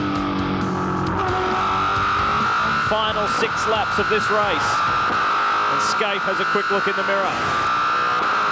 when you do that, you, you have references in your mind for what it looked like last time, and you can always tell whether or not the guy has made a little bit of an impression or not, or whether you're easing away. And obviously, the, it's very comforting when you see that, that the target behind whatever it may be is getting smaller. when it gets a bit bigger, it tends to put a bit of spring in your step, and you've got to be careful that you don't change your rhythm too much and then start to make mistakes. The unique challenges of running the race meeting here from the point of view of the officials in race control and uh, this event is largely staffed in terms of senior personnel by the regular officials from Australia, from uh, the Australian V8 Supercar Company and CAMS, Tim Schenken, the race director, and Peter Wallerman, Colin Bond. But in race control, in the very building that we're in at the moment, the, there are no windows. So everything that they review or look at is done on closed circuit cameras on each of the corners together with the Network 10 coverage. Just uh, stop for a moment and think about how difficult that would be where traditionally race control are able to see most of the things that are going on. But so far this weekend, they've had a very quiet time, which has been good for them. On top of that, the language barrier as well communicating with the Chinese, the corner workers, the marshals. It has been somewhat of a challenging weekend, but so far, so good. Daz? David Besnard, obviously not being a real good day. You've been in the wars. No, not at all. Um, got a reasonable start, racing around, keeping out of trouble, and the splitter eliminated. So came in, swapped that over. The boys did a good job changing that. Going back out, just cruising around, saving tyres, seeing how the car is, and um, I think the engine's let go in a pretty big way. So goes from bad to worse. A few people have had splitter problems. Is that because drivers are clipping those tyres, or is it a different issue? I don't think so. I think it's more the speed we're doing and, and the length of time we're doing it for. Although it doesn't happen at Bathurst, but we, I did one in practice as well, so we can't really put our finger on it. But you just get a big vibration, and eventually it just breaks the bottom off the splitter. I hope it's better for race three. What do you do? Tough day for David Besnard. You look at Marcus Ambrose. Ambrose maintains his fourth place. He's about half a second shy of the pace that he needs, though, at the moment. And he's maintaining his fourth place, but he's just not in touch with the Missy Skaife at 2.6. Richards 2-6 Kelly 2.5. 53.1 it is for Ambrose, 53.7 for Radisich, 3.5 for Russell Ingall. Still 2.5 for Glenn Seton, so uh, he's very quick in this late stage. There were some frayed tempers too within the Stone Brothers camp after qualifying yesterday. There was an incident out on track where a couple of incidents we understand between Marcus Ambrose and Russell Ingall, and Ingall was not at all happy, and we believe the two had a, uh, discussion, nothing more, nothing less, but uh, Ingall was not pleased. It's all hands on deck down at the Super Cheap Auto garage on Greg Murphy's car. They are doing a full engine change here. Murphy's even got the hands a, a little bit dirty. They have the old engine out. They're getting the new one ready to go in. Steve Henderson at the front of the car. Greg Murphy's engineer now. As Lee mentioned in our commentary in race one, they have decided this team to, for now at least, stick with the older 18 degree engine. They were going to upgrade to the new Holden Motorsport spec engine, but with the time be between Eastern Creek and here at, uh, at China it was just a little too tight to complete the transformation. David is working, our, our cameraman, at the back of the car there now, and what you can see is that they have changed also the fuel tank in that car. A lot of undercarriage damage after that big launch through the gravel trap. Yeah, I reckon there'd be a lot of repair work under that car. That was a huge impact it made across that little in, uh, inroad, what do you call it, the, the access road Access there, road. and he just flew through the air on the other side. Final four laps, and at the moment, with Scaife leading Richard second and Kelly third, those three guys are tied on points for the round. 124 each. Four laps to go, mate. Four laps. You're making good progress. Barry Hay talking to Russell Ingall. Ingall is sixth at the moment. He's got this man here, Glenn Seton, chasing him down. Seton was closer than where he's at now, so whether his car is dropping off or Ingall's is getting stronger in the latter stages of this race. They both did almost identical lap times on the last lap, a 152.65 for Russell, a 152.69 for Glenn, so he's only four one hundredths slower. Marcus is the one that's just a little slower. Marcus and Paul Radisich are the, the two slower guys of the leading bunch at the moment. They're in the 53s. When you look at uh, when you look at the, the scope and the history of Australian motorsport, Neil, there's two significant guys here, well, three significant guys in Tim Schenken, Colin Bond, and Dick Johnson.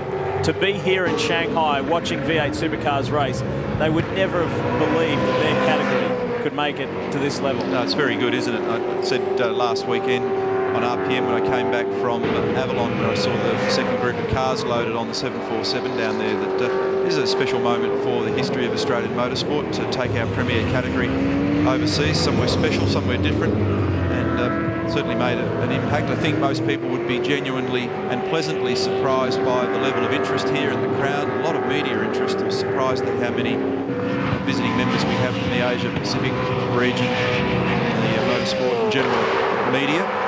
So it's been a great exercise so far. Logistically, a very tough exercise for everybody involved, for the teams, for Avesco, for Network 10. Just a massive amount of work. All the simple little things that you just become very accustomed to working with uh, back at home are not at your fingertips here. So the whole thing's got to be planned down to literally the last nut and bolt. And the next big part of the exercise is to load all these cars up and get them back because we've got another big away game in Darwin, which is not exactly around the corner for our next round. But I think we've all got to speak volumes for the amount of hard work planning and the beautiful execution uh, by Gibson Freight. Bill Gibson and his team, his sons and his group just done a fantastic job and I don't think I've found anybody in the pit lane yet who hasn't just sung their praise for the outstanding job that they did in pulling together the equipment just the just organisational skills of being able to shift all this gear over here. Two and a half thousand kilos per team in those big containers. The cars on the pellets uh, loaded up into 747. That was all done so quickly and efficiently.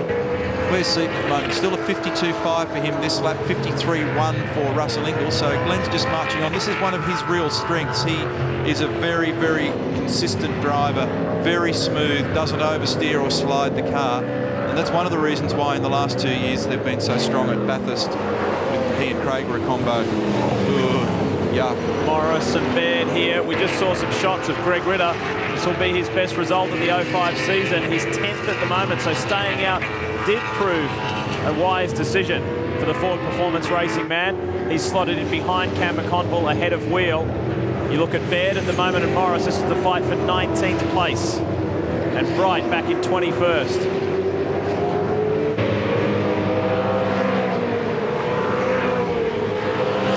So reversal there for the FPR team to see Bright down, Ritter up. But that will bring some relief. Ritter was in the wars yesterday, ended up finishing 23rd. Was turned around, was tangling with people.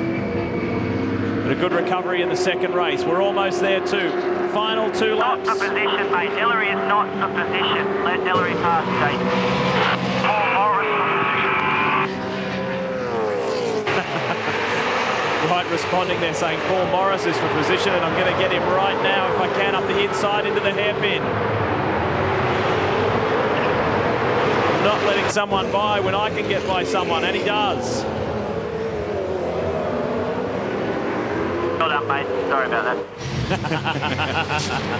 Phil Key just uh, in consultation there with Jason. All sounds pretty free and easy sitting here the comfort of your television. And, but when you're in the race car and you're busy uh, and a voice jumps into the middle of your head, can sometimes be very off-putting. Most of the crew chiefs or engineers try and talk to the drivers when they're just working in a straight line rather than under brakes or in the turns, but it doesn't always work out that way.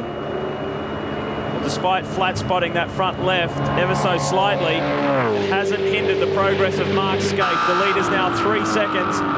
He's at the hairpin. He's on his way to get notification of the final lap coming up. He had a win at Barbagallo in race one. That put a big smile on his face. And then, of course, we know about the incident between he and Ambrose in race two. Joss, the leader entering the last lap now. Last lap, mate. Last lap. This will return the smile to the five-time champion, Mark Skaife. One more lap to go, 4.6 kilometres, and he'll be there. I bet he um, was wincing when he realised that he'd put a mark on that tyre. Didn't you say there was some radio communication they were even contemplating bringing him in? Bringing him in? Rob Starr said to him, if it's risky, don't risk it, you know, bring the car in. And they had a little chat about it. But uh, obviously, unless you feel that it's a horror story, if you come in, then it is all over. So you want to try and stay out if you can. And Mark's been around long enough to make a very accurate assessment as to whether or not it's shaking too much and whether it could be down to the canvas, but obviously it wasn't. We ride with Stephen Richards. He will gather more valuable championship points and edge closer to Russell Ingall and Marcus Ambrose. that's been a great battle between Stephen Richards and Todd Kelly. Neither of them have relented. Look how close they are even after 30 odd laps of racing. There will be some tired drivers after this. They'll be fatigued somewhat. And the diminutive Kiwi's done well again. For Team Kiwi Racing, Radisich will bag a top five on the back of his solid result yesterday. Final run into this 1.4k back straight. Foot to the floor. Skaife's already at the hairpin. Two more turns to go, and he'll grab his win. This helps Mark Skaife tremendously in the championship, considering he is battling Craig Lowndes. He's fifth at the moment. Lowndes DNF'd in this race. Skaife takes race two Shanghai.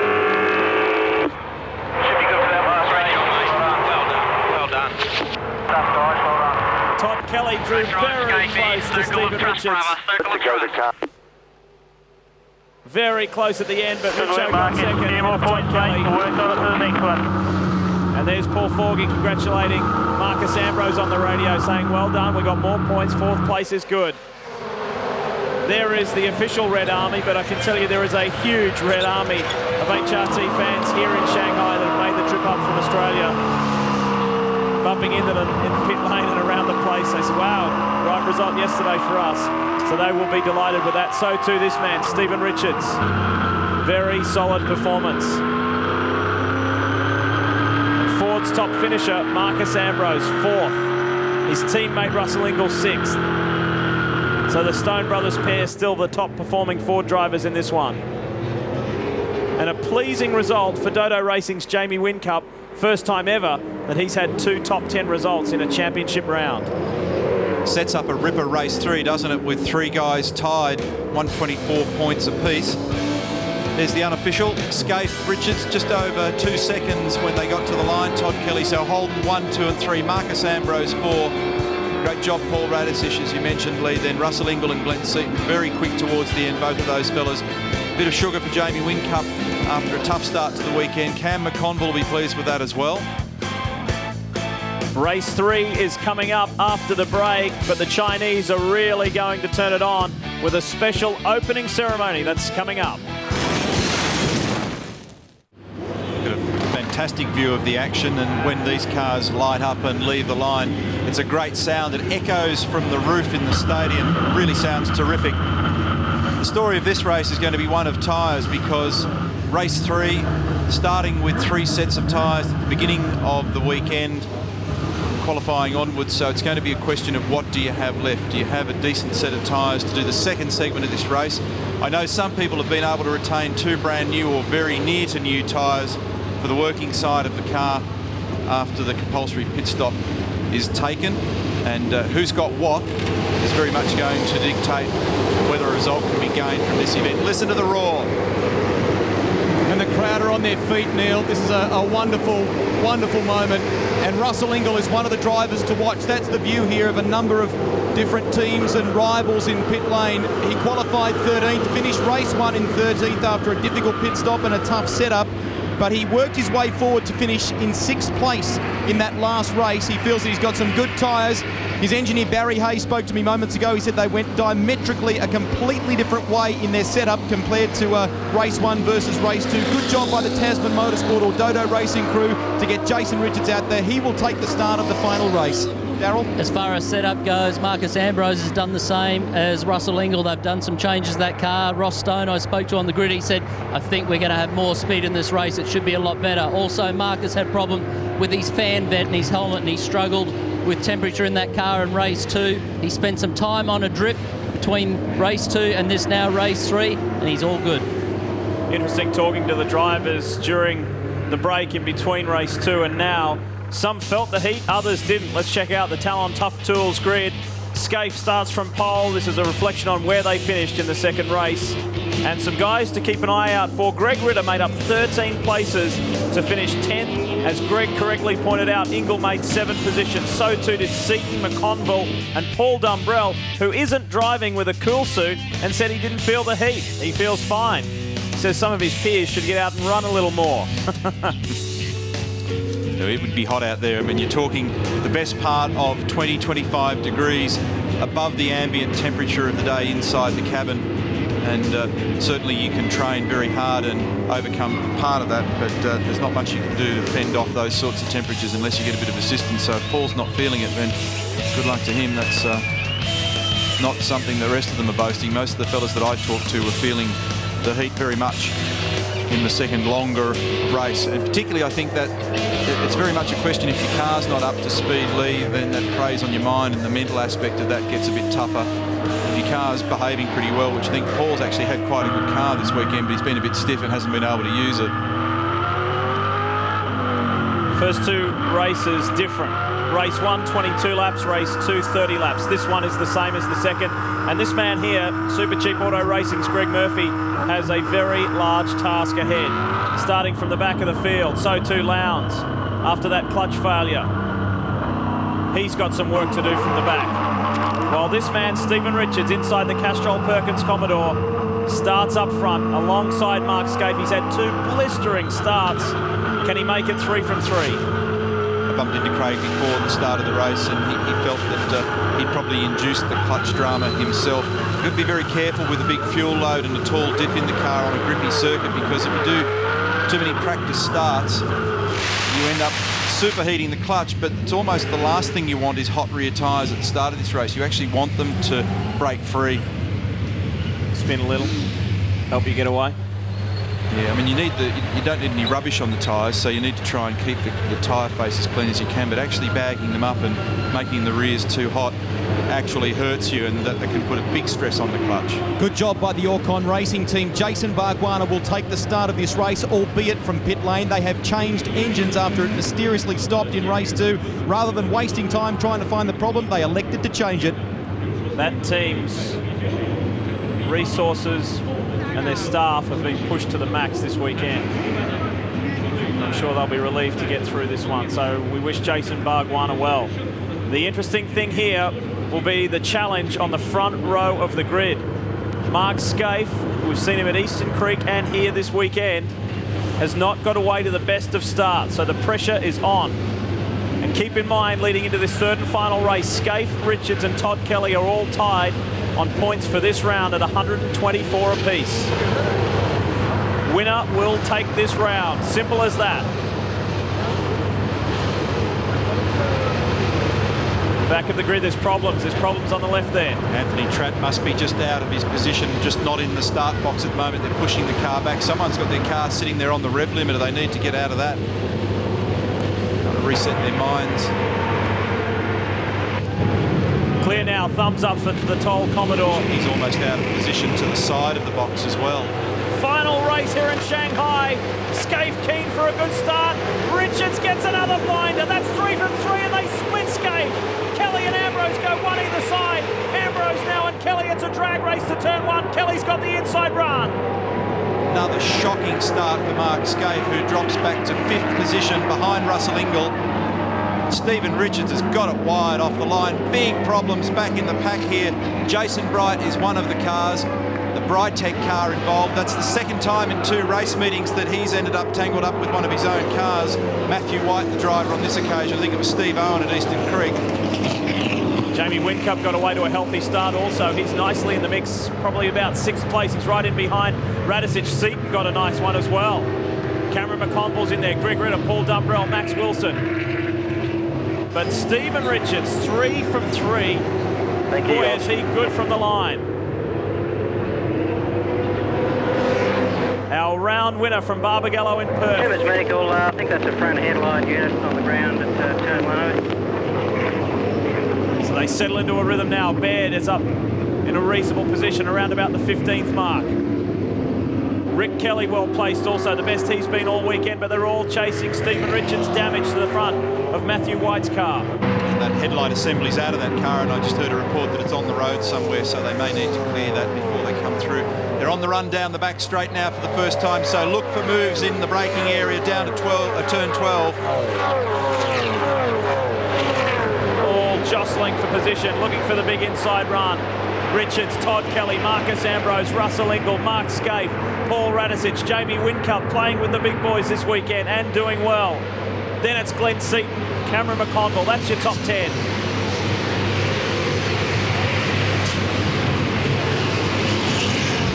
I think Lowndes has got a misfire in his engine as well. Standing lap time for Stephen Richards at 155.3.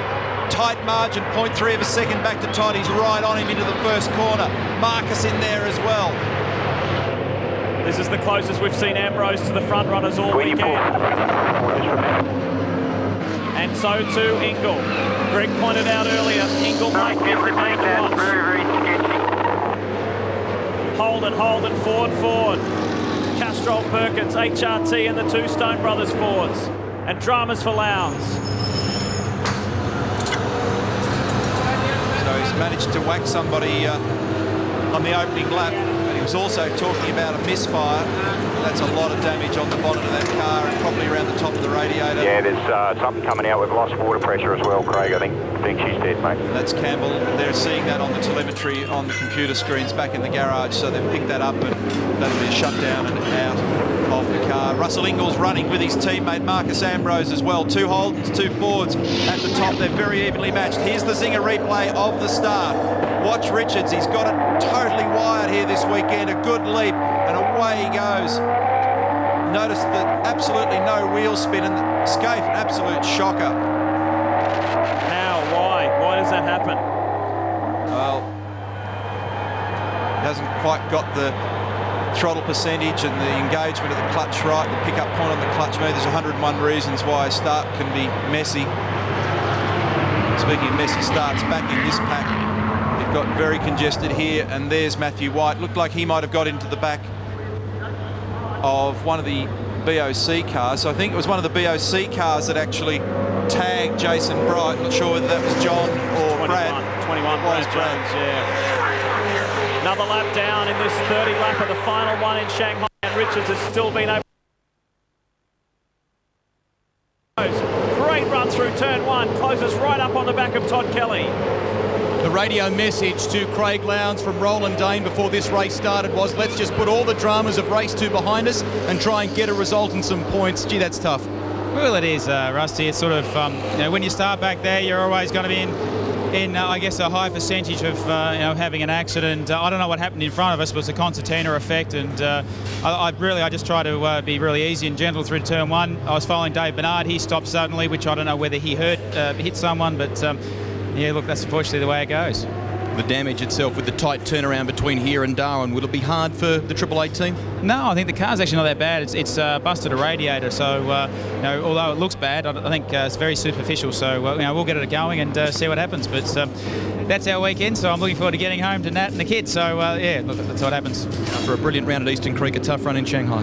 Thank you. Yeah, the higher you are, the harder the fall. Round win at Eastern Creek to two DNFs from three starts. He went from fourth in the championship to sixth before this race. Now that one will hurt him. Fastest man out there at the moment is actually Jason Bright. He's done a 52 neat, but nobody's got any great pace at this point. They won't have particularly flash tyres in this opening segment of the race, and it is substantially hotter.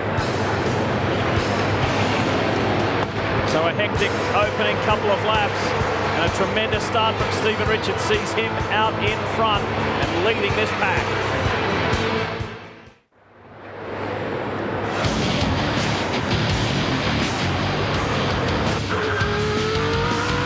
You're watching the V8 Supercar Championship Series live from Shanghai, China, and the pressure is on. The day is done for WPS Ford driver David Besnard. It's been a frustrating weekend, so he is over with. But at the front, it's far from over. Look at Stephen Richards, the defensive inside line. Kelly sweeps to the outside. These two came together, almost came together, and Kelly was able to get under him in the opening race. And Ambrose is lining up for a shot as well. Yeah, Marcus went back out for the traditional race line there and let the other two guys argue. He's looking for the fast way round. Stephen was very defensive. Compulsory pit stop window is now open, so at some point you'll start to see various people peel in, but that makes for an interesting strategy, a strategy question for some of them. Murphy is talking on the radio at the moment about uh, high water temperatures. They're asking him to. They're asking him to find some cool air. He's back in 19th, tucked up behind John Bowe. I think that was radio communication from Marcus Ambrose to his team. They've asked him to come in this lap, and he said, no, I don't want to stop. He is right in the mix. He's right in the thick of it. Spoke just a few moments ago to Phil Keed, engineer for Jason Bright at Ford Performance Racing. He says of the bank of tyres they have left, they probably are running their best set now on Jason's car. They flat spotted a tyre in qualifying, or the last race I should say, so they're, they're down in rubber terms. And what they are definitely going to do is run the gauntlet here with Jason Bright, try and keep him out there as long as possible and uh, use that ploy in strategy terms certainly worked for him in the previous race with his teammate Greg Ritter, didn't it, Compo? Yeah, and I kind of guessed from his lap speed that he had his better set on now. And uh, from a strategic viewpoint, definitely better to just stay out there, do good lap speed. And uh, he's in the mid-51s, which is pretty handy. This is interesting. There's a bit of conversation going on with the Stone Brothers camp. They're telling Marcus Ambrose he has to pit now. Does he obey the orders? Yes, he does. The others come in as well. Oh, pressure's on the teams here. And watch this, because they can all run into each other very easily here. Oh. Uh, Problems on the front stretch. That's a bad move there, boys. Oh, Garth Tander. No, Marcus. There's nothing I can do about it, mate. Out of my control. And that was Ambrose saying it was a bad call. He's saying it's a bad move. Castrol team, good stop for Stephen Richards. Yeah, it sure was, Lee. Around about 4.8 seconds, they changed the tyres down the passenger side of that car. It's going to be interesting to see now if he can get out ahead of Marcus Ambrose. Well, Richards is right at pit in. He serviced. Ambrose is right at pit out. Marcus had good car speed. That's why he wanted to go on with it. He, he felt that he could make a few tenths in this clear segment now, and all he's going to do here is be mixed up in the pack unless oh, wait, he can Marcus, jump. Wait, wait, wait, wait, wait. Oh, no! He's hit Richards in pit lane. He's knocked over the markers. Yeah, it could be interesting. He, like you saw Lee did, he went for two tyres down the left-hand side. Paul Forkey said, Marcus, wait, wait, wait, but he kept going. I don't know that race control will be too thrilled about that. We'll have to wait and see how they view it once they've had a good look at it. But uh, car controller was saying, wait, wait, wait. Here it is. Stephen Richards and Todd Kelly line astern. And at this point, Marcus needs to yield. And look at the officials having to jump out of the way. He nearly he, ran over Vinny. However, he did address it. And uh, he did lift the throttle on the exit so that he could slot in behind. But uh, Vinny nearly, got, nearly wore the dunce's hat then, didn't he? Good quick reaction. And we're hearing word that Rick Kelly is very there is the Team Buick entry. And they've just called Skaife pit this lap because it could be a safety car scenario. So they're going to yank him in and rattle the wheels and tyres off that for left-hand side only for Skaife. Trouble for Ingall in the gravel. And Skaife and Ingall were together, and there's Cito as well. They're all diving for the pits. There must be some. There must be something all over the road there for the experienced guys to go off at the pit entry. Wow, crazy stuff in race three. There's going to be a lot more to that story. Be curious to see what that was all about. At turn 14, you can go straight ahead there in the pit lane entry, and then it's got a 90 degree left that runs okay. down the hill. Skaife stop.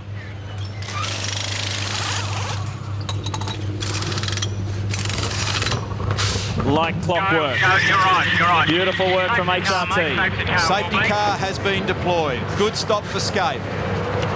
Seton rejoins as well. Radisich service. Both super cheap auto cars are in also. Escape in behind Ambrose. Mass congestion in pit lane at the time too with guys diving in and out of their respective pit boxes but someone who may have made some gains there I think was Cameron McConville. He came in behind Seton. Some slick work by the Garry Rogers crew. Got him out ahead. Seton's car a little slower to come down off the jacks. Both guys changing rear tyres. Paul Radisich, good stop for him. He went out behind Mark Skaife in the exit of pit lane. Also checking tyre temperatures a lot hotter today, but race two, the Dunlop boys said the temperature left rear was up around 85. Marcus Ambrose tyre that came off that car, especially the left rear, which is carrying the temperature, was only in the mid-70s. Dunlop surprised. Maybe that setup change was helping him with tyres, and he did have that pace.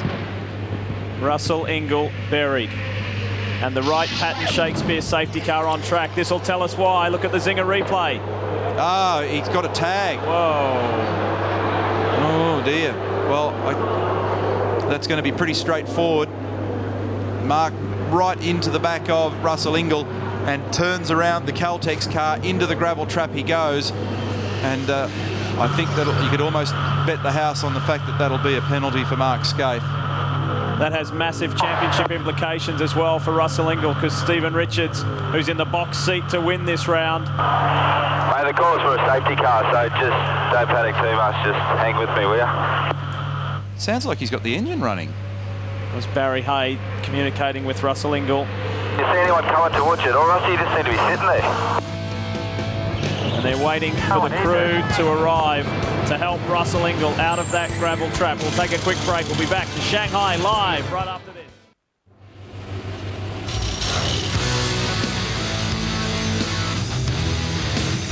Back at Shanghai, Russell Ingall has been rescued from the gravel trap and is in the Stone Brothers box now. Yeah, and they're doing all four. Russell was in debate with Barry on the way in to the pit lane as to whether they just do the rears only. He called for rears only, but there's gravel in it everywhere. Mate, turn it off, don't cook it up. I'll give you the nod when they get all this stuff out of here. So much gravel there in the back. left front tyres all right. Do you want it to stay on, mate? Just to confirm for you, I've spoken to the officials here in pit lane while the safety car is underway. The Marcus Ambrose incident on the exit of pit lane is under investigation. So is the clash here between Mark Skaife and Russell Ingall. A word from the officials is that it will not be adjudicated on until they finish dealing with the safety car period. They want to make sure that's under control first. Then they'll take a closer look at this happen, happening here. Now, Rob Starr from HRT, the team boss, says to me, Mark Skaife reported nothing in the way of a problem brake-wise on the entry to pit lane here. Skaife has said nothing about the incident thus far. Timely moment to welcome Triple Eight Racing's Craig Lowndes to the Network 10 commentary box. Welcome, mate. Glad to see you here. Rather see you out on the track. What do you make of that incident? Well, look, it's, uh, it's, it's it is an interesting um, uh, corner because really you got uh, guys on race line trying to complete a lap, guys trying to uh, fire into uh, the pit entry as quick as they can, and uh, it is a little bit of a drama because you've got to quite judge the guys actually wanting to continue on a circuit or want the guys want to actually go up pit entry. So, um, like, look, like my opinion, just having a quick look at it there, looked like uh, Mark is in, in the wrong. Uh, you know, he's taking, uh, well, he's hit uh, Russell, and then Russell's ended up in the gravel trap and ended up the worst of the two. Been a tough weekend for you, hasn't it? Oh, look, it's fantastic. I, I heard about you guys having an air conditioning uh, room, so I thought I'd come and have a look. We, uh, yeah, definitely we got a bad start. Um, Dave Besnard got me off, off the line and uh, ran into turn one. Uh, Roland Dane had, uh, had told me to just let's come on, let's. All over it. We'll sort it out this end. We'll make him stay hell as well. Try and consolidate and uh, you know get some points for the last race here. And uh, we tried to do that. I left a little gap on going into turn one. There was a concertina effect. I'm not 100% sure what went on uh, into. Uh, as we we're watching Glenn Seton there hit the wall, we actually did clap the wall, so uh, quite early with the front right, and it looked like he did it on his own. So uh, he just. I talked about this before, Craig. When I walked around the track the other day, I could see that there was a bit of a recipe for disaster there because it's a, uh, as the lights are out now on the safety car, it's a very fast approach. The grip level goes down when you come off the racetrack, and it's a 90 degree left-hander. We're about to restart the race, and there certainly was some drama there. Let's see what pressure Kelly will apply. Will Ambrose have a shot? Stephen Richards is a man they are chasing, and Kelly's been good down into one. So too has Ambrose. Ambrose argued the call to come in when he did. Look at Kelly on the inside. Marcus was very keen to stay out there with that extra speed that he had. He's given Todd a little tap there in the turn two part of that complex. He probably felt that he could have uh, made another couple of tenths or two on that set of tyres, but as it turned out when the safety car was deployed, I think this call has ended up being the correct one for Stone Brothers. Skaife is behind this man. Radisich is fifth. Wilson sixth. Ritter, McConville, Whincup, Seton. That's the 10 at the moment. But these four are out by themselves. Remember that quite a few of the key players here have managed to hold back a minimum of a couple of decent tyres for this last segment of the final race. So very young or, or new tyres. Thoughts on the track, mate? Have you found it? Marcus Ambrose is going to get a black flag for uh, uh, the incident in pit lane and he'll get a drive through. So that was the reason I just went quiet there for a moment. Sorry, Lee. That's all right. What do you think, Craig? Track, like it? Yeah, track's fantastic. It's very, it's got a high grip level, and uh, you know we burnt the clutch up in the, in the uh, first race today, or the second race overall, and uh, you know that's why we started the back of the grid today. Um, very, very fast. We actually thought that it'd be a uh, quite clearly uh, some good, quite uh, We're going clearly. drive through Marcus, come through the pit lane this time, through the pit lane. like quite clearly into, into this uh, hairpin. it'd be quite easy to overtake. But uh, as you can see, the cars are actually fairly even. So Morris and Glenn Seton. Yeah, that was on for a while. Paul was just sliding in for for 100 metres or so there, and uh, he couldn't pull it up on the inside of the road, and he's given Glenn a tap. So it was if it wasn't uh, tough enough for Seton after making contact with the wall down there at turn 14. He's now off the edge of the road, and Paul Morris has got a pile of damage on the front of the Sirromet entry. Damage on the front of the Tall Commodore as well. Been a bit chaotic this one, hasn't it? Uh, definitely. I think uh, you know everyone will go away this weekend and, um, and have a good look at what we did and um, you know and what we've done over the weekend and come back next year a lot, lot smarter, a lot wiser. And uh, you know the cars will, uh, have been fantastic. There's a great crowd here. It's been sensational to see everyone come out and support us.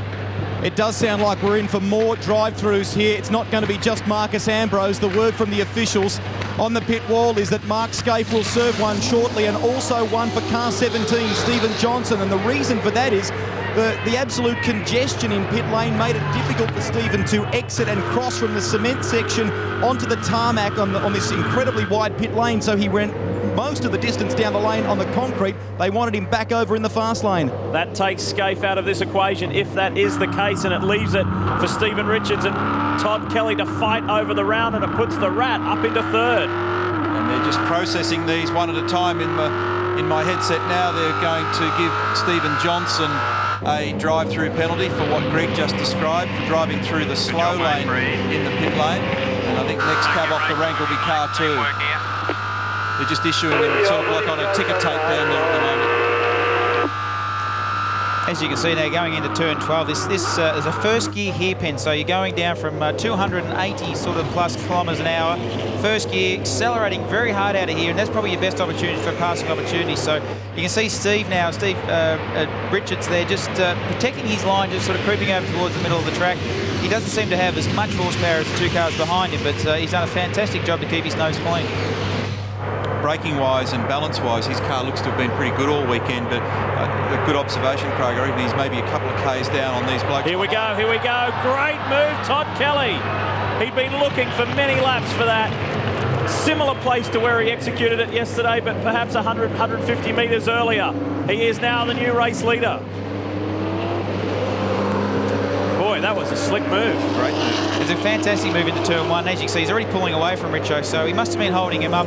Turn one is actually very, very uh, difficult in the sense that it tightens itself up, but you enter turn one very, very quick. It's like a third gear right on the limiter, and uh, you know you actually car uh, wiggles and moves right around through one until it tightens up, where you've got to go back to second, get it down into, into three. So it's a quite a difficult little corner. At West Point, Falcon of Stephen Johnson's is making the long trip down pit lane. Dick Johnson is with me. Your thoughts on what happened? It was so busy in pit lane at the time, obviously. Oh, mate, I really don't know. I just uh, I don't even bother wearing a headset anymore. I get too upset. So it's um, it's a bit difficult, but uh, you know you, you have good days and you have bad days, and uh, it looked as though it was going to be half a good one, but it's, it's turning the opposite way at the moment. Boys did a good job to get Stephen's car out on the grid for this race, and I know Glenn was looking through his tyre bank to see what his tyres were like for you know the final race. What's the, the general thoughts on, on things in the final one, given you know Glenn's scenario? Well, you know, Glenn obviously just got taken out then by uh, another you know ambitious driver, and and uh, it seems to be uh, the nature of the weekend. But you know, we'll just keep trucking on and see how we go. Thanks, Dick. No worries. Paul Weel getting a tag there from I think Max Wilson in uh, turn one, and meanwhile Mark Skaife will get a black flag and will serve a drive through. Richards trying to come back on Kelly. Curb hard. Something just happens to the tyre coming in. Mark communicating that he's coming in. The battle's on at the We front. can't do any work on the car. This is a drive through. If you've got damage, you then have to come back in. And look at this. We see the Team Kiwi Racing Commodore of Paul Yeah, I know, in a podium position for the first I'm time in his new team. the. There are some surprises in this race. You've got Radisich in third, Max Wilson is fourth, Whincup is fifth, and Ellery fighting through. He's up into eighth. Oh, gee, Mark almost went straight into the back of Richards. Now I know why he's been on the radio talking so much, and that's why he dropped out of that group. So that'll be a flat spot, I imagine, on those tyres, and just compounds what's turning into a disastrous third race for him. Look at this gap closing up. There goes Mark, having served, but remember he's probably got some damage on those tyres and allowed to work on the car during the, the drive-through when you're serving a penalty. Talk about a mix-up at the top. You run down the order after the top three. Wilson four, Whincup five, McConville six, Ritter seven, Ellery eight, Bright nine, and Wills ten. What a very different looking top ten. Robbie Starr, that incident Mark just mentioned during his drive-through with the front left tyre, was that during the Ambrose incident or the incident with Russell Ingall? No, this the left front then he just damaged. Then he thinks with Richo at, at the moment then, but um, he um, you know, obviously with the Russell thing we're not you know it didn't look real good, and you know, we thought Russell was coming in, and obviously he turned the corner, and you know, the, the, the pit entry speed's a lot quicker than doing the corner. I guess the most difficult thing has been the starts for Mark more than anything to put himself in that position. Yeah, I mean, he, he- you know, it- it's obviously that anyone that's been on the inside of the track today seems to have struggled, and unfortunately, you know, as soon as you get one bad one, it, it gets harder as it goes on. So, you know, the car speed's been good, but unfortunately, you know, we have to get, get it Todd Kelly leads the way, but there's some movers in the pack. Ritter's got past McConville in the Valvoline Commodore, and Ellery is coming. Simon Wills will get a drive-through as well for that incident that we saw before in car 168. We are at the halfway point, race three, round five in Shanghai. We've got special guest Craig Lowndes with us, and we'll be back in just a moment.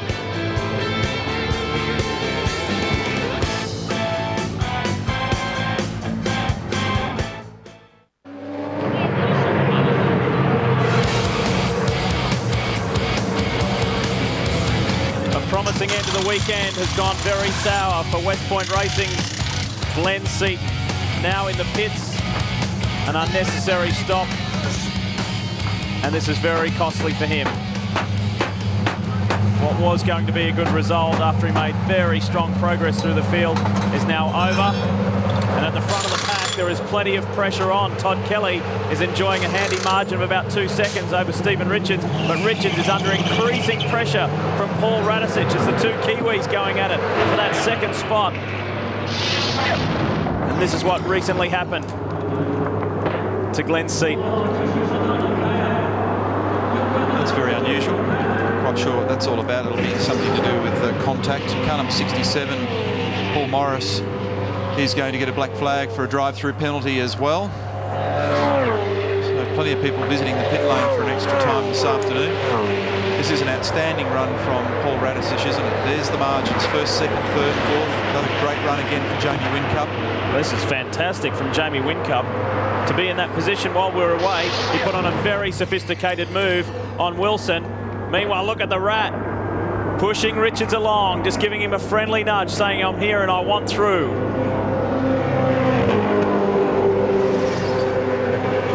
Kelly now increases that margin, 2.2 seconds the lead, and Whincup isn't out of a top three spot. He is reeling Radisich in. Whincup's the fastest of these lead guys, but Jason Bright's still in the 51s. He's 8, 51.6 on the last lap for him. The Shanghai experience is over early for both Triple Eight Falcons. Craig Lowndes is up in the commentary box. Stephen, you're here with us in pit lane. What's happened to your car? I'm not 100% sure. Um, breaking down in the hairpin in the car, just wanted to pull left, so something in the front suspension's broken. But um, you know, it's so disappointing. I was going to win that, but um, nothing was going to stop me today. But um, unfortunately, it did, and just seems to be the way. We just got no luck. But um, working hard. I feel sorry for the boys more than anything. Um, but you know, maybe next time. And uh, I just want to say um, hello to Kerry and the boys at home. Hard luck, Stephen Ellery. Daryl? Keys well. Greg Murphy's not probably had the best of weekends so far. You've made an engine change in that car, and he's come from 31st now up to 10th. Yeah, no, it's uh, been pretty good on that side. We've had a pretty disastrous up till then, but uh, no, we uh, we're pretty hard over the break between the two races and uh, whipped another motor in, and plus a fair few other things that were broken. So uh, for Murphy to do a good job now, it's sensational. What about that car? There was talk at Eastern Creek you were thinking about putting the Lowry engine in that car as well. You've still got the 18 degree engine. When, when will it take the new engine, or why didn't you do it? Well, we didn't do it this weekend because of the few. We only had a few days to turn the cars around, and uh, yeah, I guess we're stuck for time there, and, and there's nothing wrong with the 18 degree engine at all. It's done a great job, and as you can see, the one we put in today has been doing an excellent job as well. So, but we'll change between now and uh, Darwin, so it should be good for Darwin. Thanks, Keith. Thank you. Cheers. It's Paul Morris exiting pit lane. Give credit to his driver too. Talking to Keys Wheel there, Greg Murphy has come from the back of the pack to be in the top 10 in ninth place as, Mur as uh, Morris rejoins. There's quite a bit of reward for a number of drivers here who have been down on luck in the recent past. You know, up here in third, Whincup in fourth, Max Wilson driving the Tony Longhurst car, the Team Dynamic entry in uh, fifth, Greg Ritter, Cam McConville. Good to see some variety. And here's a great move by Jamie Whincup down the inside of Max Wilson at that hairpin that Craig was talking us through before, which is a great passing opportunity here. That was very Lowndes-esque. The move you pulled on Ambrose, mate. Yeah, uh, at first, uh, the break marker I did on uh, Marcus was a little bit more, uh, I guess, you almost say desperate than that one. Uh, Jamie had a, uh, very clear run into that hairpin, but look, he's done a great job. He's running around at fourth at the moment, still pulling some good times, very identical to the leaders. This is all that remains of the right rear tyre that came off Glenn Seton's West Point Racing Falcon. As you can see, it's absolutely disintegrated. Just some small remnants of the sidewalls on this Dunlop tyre. I've had a word to the crew that work on car 18. They tell me this, they believe, is a result of bodywork damaged bodywork on the tyre. Remember, Glenn had that off coming into pit lane and clouded the wall. They believe the bodywork down the side of the car was damaged and it's eventually cut that tyre away. Looking back at Paul Radisich, this would be his best finish for Team Kiwi if he can stay where he is. The guy behind him, it's his best ever result if he can stay there in the Dodo Commodore. I think Glenn Seton's going to get a penalty here as well. Yeah, car 18 confirmed a drive-through penalty, so maybe um, pit lane infringement, I understand, for Glenn Seton. And the wow Commodore for Max Wilson, the little Brazilian. He's running hot as well. And we've got just over 10 laps to go here live in Shanghai.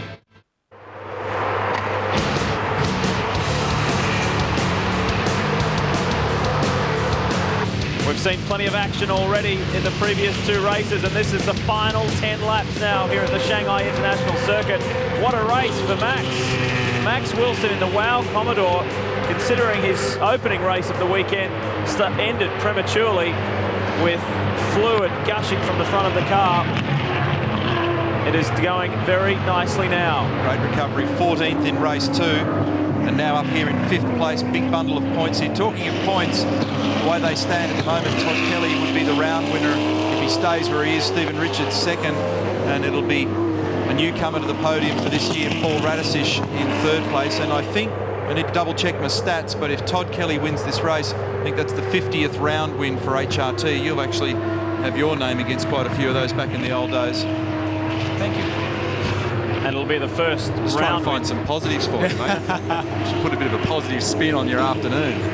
It'll be the first round win for HRT since Hidden Valley last year. And that was Todd as well. Yeah, it was. Greg Ritter's had a successful weekend, especially after his result in the first race. Now it's even better. He sits sixth, and this isn't a challenge for position. Paul Morris is out of the equation. Meanwhile, these two guys, the Stone Brothers pair, are trying to force their way back through the field. Greg. An unfortunate end to the weekend for the Dodo Racing Team entry of Jason Richards. This crew did a wonderful job to get it out there for the final race. What's happened? Yeah, it looks like we've had an engine uh, failure. The um, oiling system for one of the rockers is fractured, and it meant the rocker didn't get, receive any oil, and then eventually it seized up. So I think that's linked to the previous accident, Jason, in race two. I don't think so. I think a fracture of the oil line, you know, is, is, is probably something different. I mean, you never know. I mean, obviously it wouldn't have helped Rusty, but uh, it's just a shame. We had such good car speed out there, and uh, and it's just uh, another weekend which has gone begging. Thanks, Jason. Thanks, mate. He's a guy that uh, should have had better results this year. His car's been good. He's very fit. He works very hard at it. But for some reason, he just keeps being Johnny in the wrong spot at the wrong time. It's very unfortunate for him. Well, his teammate has a very big smile on his face at the moment. If he can stay in there for another eight laps. on, Marcus. You're making a good point. You've got a pretty quick car. Just keep going and keep overtaking. See, Marcus at the moment where he's 16th on for 148 points, and that's the reason they're hustling him. And uh, this is for position on Anthony Tratt, 15th. Craig Lowndes, are you a guy that likes a lot of radio contact in between? We hear it up here between you and Campbell Little, or you'd rather less? No, no. Well, I actually, as a driver, like uh, as much information getting sent to me as possible. You haven't heard a reply from Marcus, but uh, you know, Cam has always said to me, if, if I don't want to talk, or if I'm in the middle of a corner, just press the button. They can hear that, so they at least know that we've uh, we've heard the message and they can get on with it. Russell Ingall's going to be heading into the pits pretty soon. The team waiting in the garage here. They've got covers to cover the engine. We know they are going to take the airbox cover off the engine on that car. They've got screwdrivers. Not exactly sure what is wrong with it. Also, Mark Skaife's team had a front left-hand wheel out for that car with the damage he did earlier on. They took it back in. Say Marcus, uh, Mark Skaife, stay out and get points because you're ahead of Mark Ambrose in the championship. Now the wheel is back out, so it looks like Skaife will be in. Yeah, I just got a confirmation over the radio that they're going to bring Mark in because uh, he feels that the tyre is dangerous at the moment. He and Marcus both share 148 points, but they feel because of his lack of speed that he's going to be passed anyway, so you may as well come in and get it serviced. That was the current update, but you never know. They have been known to change these things on the run. Zinger replay here. Jason Bright getting on the inside of Cameron McConville. Bright hasn't mucked around in this third and final race either. Bright started 20th in the Cat Ford, and that was a position move for seven. It started out a bit wild though. He had to Yeah, catch he it had the wobbles. when he first jumped on the brake pedal. It wanted to swap ends with him, but he brought it back under control. Had a feeling for a minute there he's going to whistle on by the corner with an extra 30 or 40 k's, but he got the job done. You did a great job going in the brake market because really that is the only place that uh, you know you can do some passing opportunity. But you've got to be careful. You've seen Mark Skaife lock a wheel, and uh, when you lock a wheel around here, you've got to come into the pits. Murphy grabs McConville also. So the great run for Greg Murphy from the back of the pack through, and he got through on the same corner at the hairpin that uh, Bright got McConville as well. One thing I noticed uh, in the first race was that your car was very good when it came to being, you know, hungry and using a lot of the road. You were able to pound over those curbs like that one we saw there at turn 12, and the same at the final corner. You could brush right up against the tyres. You've got the the damping working very well on that car, and it's not a rough track, but over the bumps provided by the ripple strips, you were flying. Yeah, we had a good race car this weekend, and uh, you know, as uh, Stevie Ellery said, it's a bit, it's a shame for the boys. Uh, you know, we come here and we got told that uh, eight was a lucky number, and uh, although it's been unlucky for us this weekend, but uh, you know, as, as you heard Dick say, sometimes you win them, sometimes you lose them. For us, we'll get on with it, uh, but we did have a great car. Skaife receiving, receiving the necessary fix on the front left for that massive lockup we saw at the end of the back straight just before he served his drive-through penalty. Now that's done and he can get on with the final seven laps of this event. Be a bit crestfallen, I'm sure, you know, starting in such a strong position going into this final race and then you know, making that error, touching up Russell, copping a penalty, flat spotting a tyre. Some evil starts, so that's something that he needs to work on with the team. Steve Ellery, your teammate down in uh, it looks like he's, he's got they've got him back, out, on the track, so uh, you know it's great for the boys to be able to get uh, one of the cars running around and circulating and uh, giving us, uh, if anything, good data for next year. It's something that, uh, as I said uh, earlier, that uh, really uh, come back next year. I think every team will be a lot better prepared. Over the course of the weekend, the Garry Rogers Motorsport crew have made some fairly aggressive changes to car 33 of Cameron McConville. They initially started with a, a softer spring setting and then worked with a heavier rear bar. Then they went completely the other way. But they found the car offered nothing in, in either setup term in terms of a benefit for Cameron McConville. Now in the later stages of these races, he's finding that the car tends to fall over on its on its left rear tyre through these closing radius corners. No word on the radio from Cameron to his engineer Phil Curtis. Phil just looked at me a moment ago and said, "Hey, sorry, we're not fast enough." The guy who is quick at the moment is still Greg Murphy, 51.6 on the last lap for Greg in eighth position.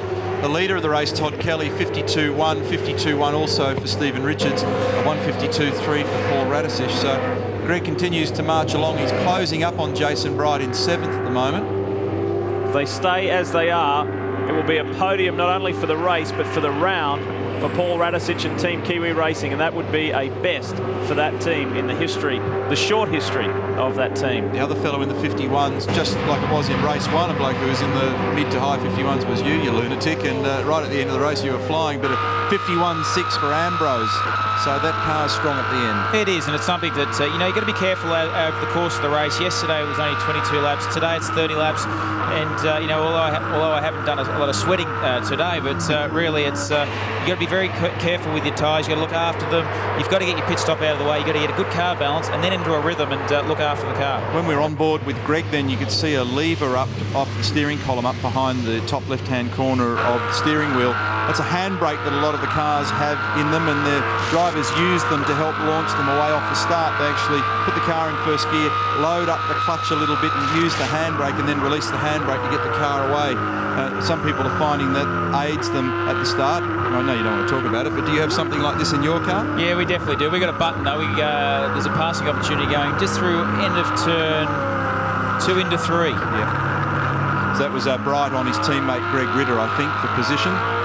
Yeah, so you've got one of these doobies? Yeah, we got a we got a button, and uh, you know, like everything in motor racing, you have to try and find the, uh, the your best advantage you can, and starts are becoming very very critical.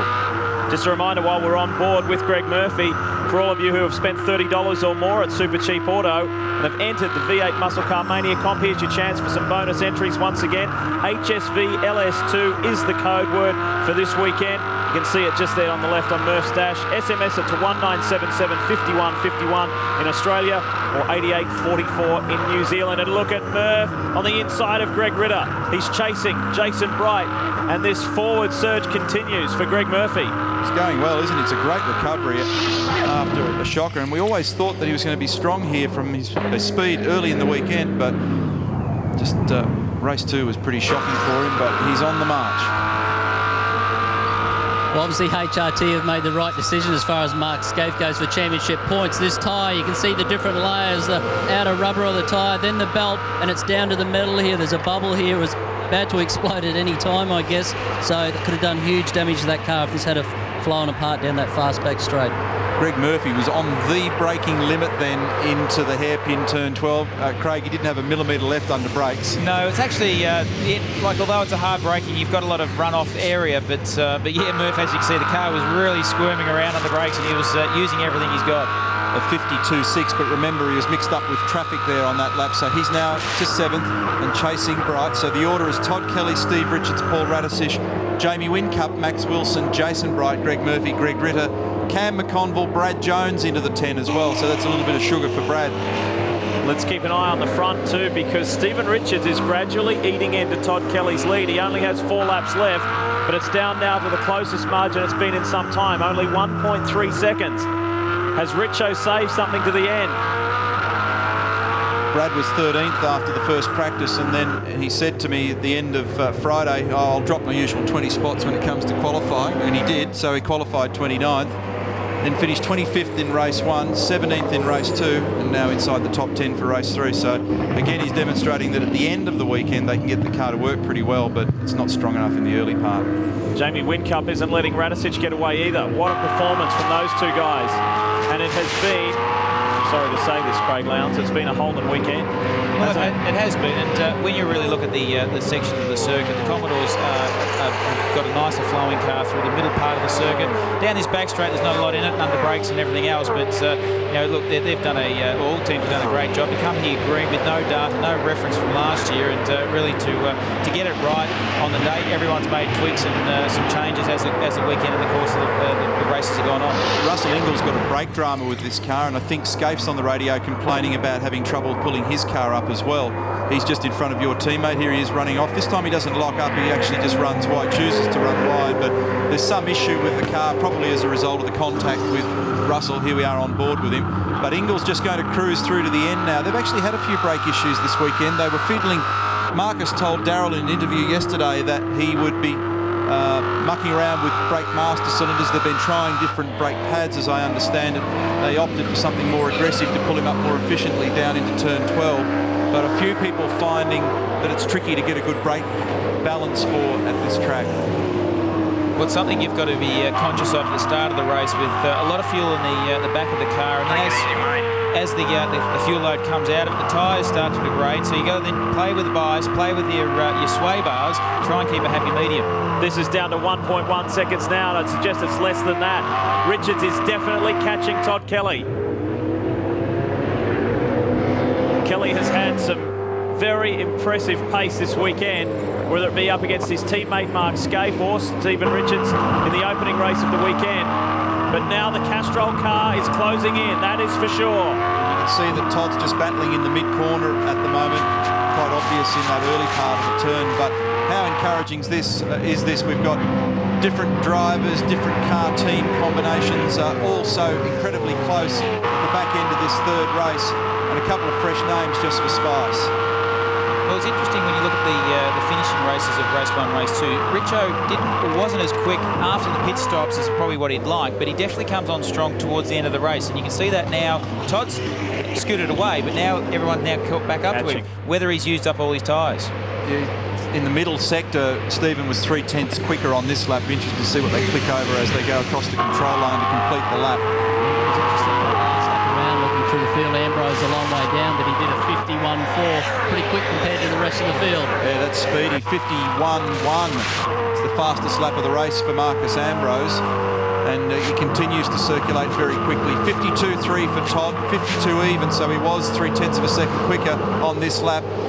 And then Radisich at 52 even as well. 51.99 for Jamie Whincup, so he's still pushing very hard. Just Max Wilson a 52.4, Greg. Just to expand on Craig Lowndes' point there about Stephen Richards, absolutely spot on. His crew chief Barry Ryan cornered me yesterday and said, look, we're really, really impressed with the way this car comes on in the latter part of the race. It's good on a, on a lighter fuel load. And uh, in, incredibly for, for Stephen, the key thing he said, he really kind of collared me. He said, listen, the key thing for us was finishing ahead of our rivals in the championship. It's about points for us here. And that's exactly the point because Stephen Richards in every race this weekend has finished ahead of Marcus Ambrose and Russell Ingall. And with their terrible run in this third race, although Ambrose has responded to bounce back up to 13th, Richards is in a very strong position. That's a flash lap time from Marcus, isn't it, on lap 28 to do a 151.18. It's very encouraging at this late stage. Be a little bit of anger in that too, wouldn't there? Still some residual anger. I think you'll see, uh, and you might notice now that it's two laps to go. I think Richo may run out of uh, laps. Although he may catch up to Todd, uh, you know, he'll have to put a bit of pressure on him in the last lap to uh, to make a passing opportunity. Todd Kelly will win the round if he stays where he is by two points over Stephen Richards. He's as close as he's ever been. Strong under brakes, isn't he?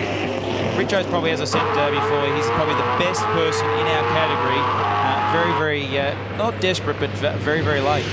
Look at this, they're coming round. There's only one lap to go.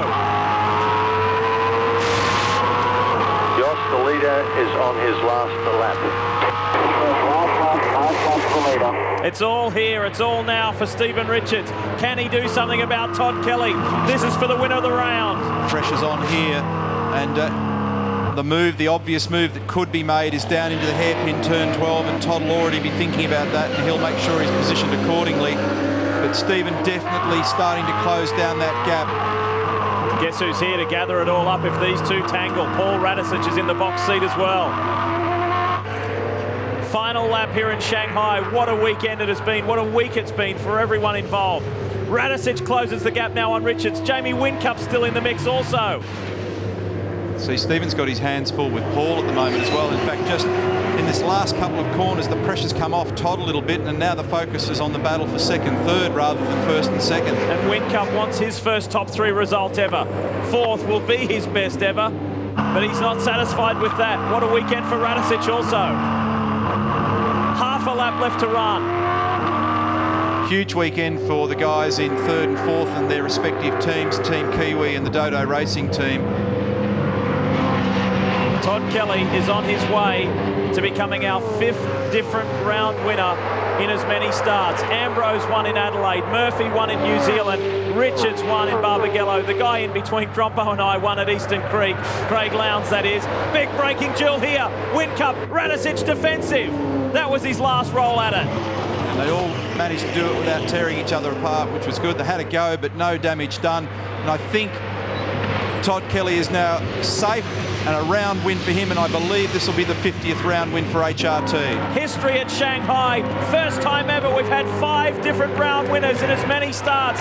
Kelly cleans up in Shanghai for HRT. Richard second, Radisich third, and that puts Team Kiwi Racing on the round podium as well. So it's very good for the championship. Well done, guys. Top stuff all weekend. Really, really good. The words from Stephen Richards, but the HRT boys are celebrating, and rightly so. Their first round win in a year. Jeff Grech right in the middle of his men. Good stuff for those boys. You know a lot of those guys, Craig. It means a lot. A lot of familiar faces, and as you've said, it's been a long time between drinks for these guys. And uh, as you've mentioned, first uh, five rounds of championship, different winners every every round, and uh, it, that's just how tough the categories got. What a start. We check the VB scoreboard. Kelly, Richards, Radisich. That's what the podium will look like. And Jamie Whincup, well done. Best ever result in a V8 supercar. And Max Wilson for Wow Racing. That is a wow. Top five for him. Tony Longhurst and the gang will be delighted with that.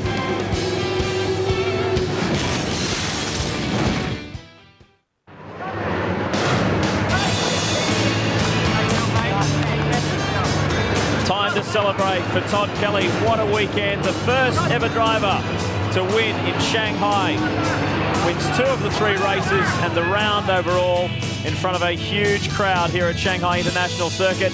We check the VB scoreboard for the championship points. Less than 100 between the Stone Brothers pair and only 10 points between Russell Ingall and Stephen Richards. It's tight at the top. Skaife maintains his fourth and courtesy of this round win, Todd Kelly moves into the top five. Let's go to Daryl. Well, Marcus, I guess first of all, we could hear you on the radio saying, I don't want to come in for this stop. You came in and then you had that incident, so disappointed. Yeah, look, the incident is just a consequence of coming in with those other guys. We really should have waited a lap, got some clean track, and then uh, tried to get track advantage. Had a really fast car, fastest lap uh, most of the race there, and that's the way it goes. You know, it's a tough sport. You felt like, you know, earlier on you had pressure on those guys. You did have the car speed, and what about those times at the end of the race? Yeah, well, I was pretty hot under the collar, and, uh, you know, I was just trying to make up as many spots as I could. It's a shame for the whole team, you know. Um, no one's trying to do the wrong thing. It's just uh, one of those deals. Well done, Marcus. Thanks, mate. He may not have won the round, but judging by the cheers in the Dodo Racing Garage, he may as well have. Congratulations, Jamie Whincup. That's a fantastic result for you and for this crew. Yeah, thanks, Rusty. It's great. we you know, the whole team have been working really hard. We've forever been improving all year, and it's fantastic to be here at this awesome facility and to get the Dodo car right up the front. I'm really, really happy, and the whole team is too. What was it like toward the end of the race there? You had good pace, and there was maybe a move on with Paul Radisich. Yeah, I, I, I thought there might have been a possibility there. Like the three cars were getting uh, bunched up in front of me. Maybe we could have got a, a third position, but hey, fourth is great. We're happy, the whole team's happy, and you know we can walk away with, with a bit of confidence walking in the next couple of rounds. Go and celebrate in Shanghai tonight. Congrats. Thanks, Rusty. Boys. Yeah, what a super performance from that young fellow. That will really give the team a lift and a very successful weekend for Dodo Racing. Well, they're cooling off, they're grabbing a drink, and they are celebrating the people who finished up the front, that is. We will have the presentation and more celebrations when we return live to Shanghai. Stick around, we'll have a complete wrap up for you.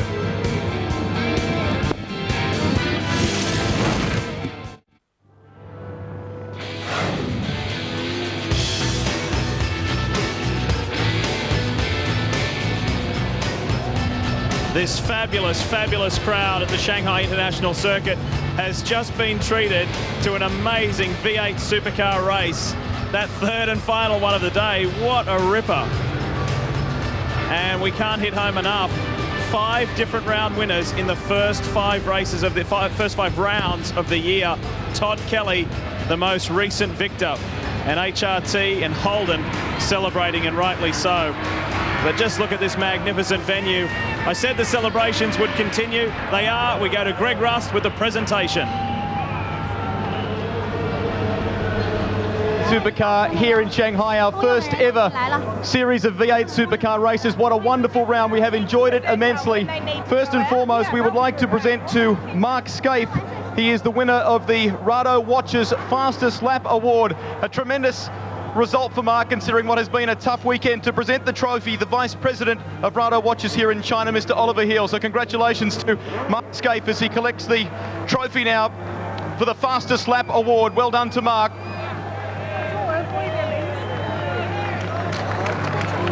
We'll move along to third place for the round. A wonderful performance by the Team Kiwi outfit, and they are delighted to have their man on the podium. Please give a nice welcome round of applause to Paul Radisich. Paul, congratulations. Thanks, Rusty. Uh, great first time Team Kiwi on the podium. I just feel awesome. I uh, suffering a bit from food poisoning this morning, and uh, I just just kept going. I got two laps, one lap, one to go. Thanks to the Team PMM, TK, uh, great job. Let's hope it's a start of a few more to come. Jump up there on the podium and to present the third place trophy, Mr. Zhang Yuang, the Greenland Group President. And to present the third place wreath, we also have Chris Covey, the Executive Vice President from GM in China. So thank you to Chris. And we'll move along to second place for the round while the presentations continue here. Well done to Paul Radisich, but a great effort by the Castrol Perkins driver in Stephen Richards. He put up a gallant fight for second, but he claims second for our first visit to Shanghai. Well done, Stephen, and the car was a jet towards the end there, as it has been throughout all the races, and you gave it your, your all. You know, it was a great day for us, um, you know, to come here to this fantastic facility. A really big thanks to the Greenland Group and Tony Cochran for getting us here. Thanks to Castrol, Holden, and, uh, you know, things are forging on for us. It's really good. Certainly good for you in championship points terms. We'll let Stephen take his rightful place, second on the podium. And to present the, the trophy, we have uh, Terry Mackenroth, the Deputy Premier of Queensland. He is here. And also to Mr. Zhang Zhaidu, the Vice Mayor of Shanghai, presenting the trophy. Terry Mackenroth, of course, the wreath. But winner of this opening round in Shanghai, fifth round of the championship series. Please give a nice welcome round of applause from the Holden Racing team. They're back on top of the podium. Todd Kelly. Well, after what's been a number of tough rounds for you, that must feel good. Yeah, it's a uh, fantastic place to uh, get another round win under the belt. Thanks to uh, Holden, Mobil and HSV and all the guys down there. Top job, well done, boys. Todd Kelly takes the top spot on the dais in Shanghai, China, winner of our first ever V8 Supercar round. Holden's dominating the podium. And Mr. Yu Zai, the Minister for China Sports, will present the trophy to the winner of this round, Todd Kelly. We would now also like to call on, please, Senator Robert Hill, the Minister for Defence in Australia, to present the wreath as we take you back to Leigh. Well, the, Hol the Holden Racing team organised a massive tour for their fans here to Shanghai this weekend, and they will go home back to Australia very satisfied tourists, that's for sure. Congratulations, Holden Racing team. Congratulations, Holden. Congratulations, that man there. Todd Kelly, the toddler is back.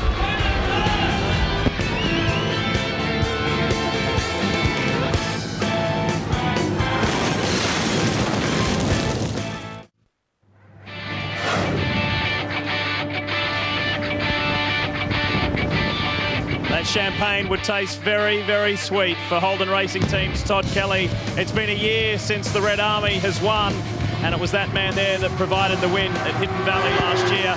Now he's done it in another exotic location, Shanghai, China. Back here live in pit lane, I'm joined by Chairman of Avesco, Tony Cochran. Well, Tony, they said you shouldn't do it. They said you couldn't do it. What do you have to say now? Uh, to all those journalists back in Australia that wrote us off, told us we weren't the world's greatest touring car championship, you can now go and eat all your words because about 50 odd thousand people here in China today have had the best day of their lives. We are so proud. This is a great Australian sport.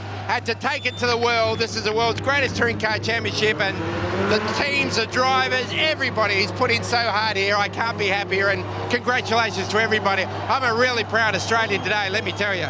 It's great for the championship, isn't it? So terrific. Uh, Leigh, you know, I mean, this was doing the, the hard yards right up front, and we've done it. We've pulled it off. Uh, we've just really broken through a brand new level. There's only three uh, forms of uh, sport, motorsport touring this world. Formula One, MotoGP, V8 supercars. It's a very healthy crowd here today. They have loved it. Well, it's time for us to leave Shanghai on behalf of Neil Crompton, Daryl Beattie, Greg Rust, the entire team here in Shanghai. I'm Leigh Diffey. We send you back to Billy Woods.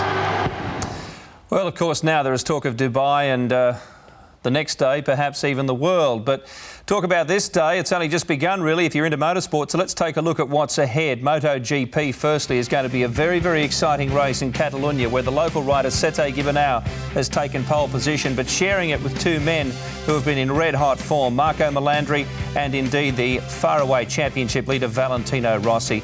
That makes up the grid of 21 riders and it's coming to you from Barcelona, round six tonight, after sports tonight. Check your guides for details, of course, at 11.30 Australian Eastern Standard Time. And Formula One is coming to you a little later than that. We have the round from Montreal. We're flying away from Europe again, and Jenson Button has taken pole position and a comeback of sorts for Michael Schumacher as well, joining him on the front row. Mark Webber down in 14th on the grid. So that'll be a very, very interesting race indeed. We have no idea at this stage what the fuel loading is, but we suspect Button is running a little light, but the strategies will play out at 2.30. Check your guides for details. Of course, the times will vary across Australia. That is coming to you live because it's in American time. Round six of the V8 Supercars is from Hidden Valley in Darwin. That's Sunday, July 3. Check your guides for details, but of course, three races there, and there'll be lots to talk about in Darwin when V8 Superstars goes to one of the hotbeds of Australian touring car racing support, and that is, of course, the Northern Territory. Monday, July the 4th. Tickets are on sale and you can ring the usual numbers and check it out on the rpmlive.tv website for more details. In the meantime, it's goodbye.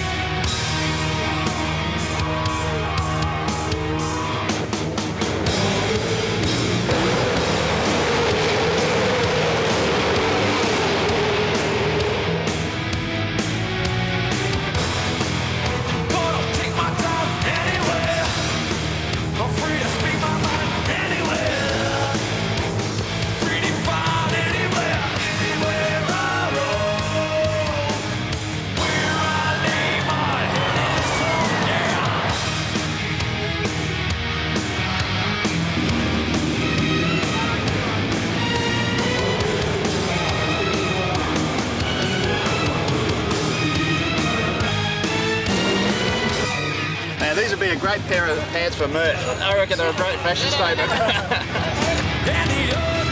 Not a great deal about to get hit by a train, so uh,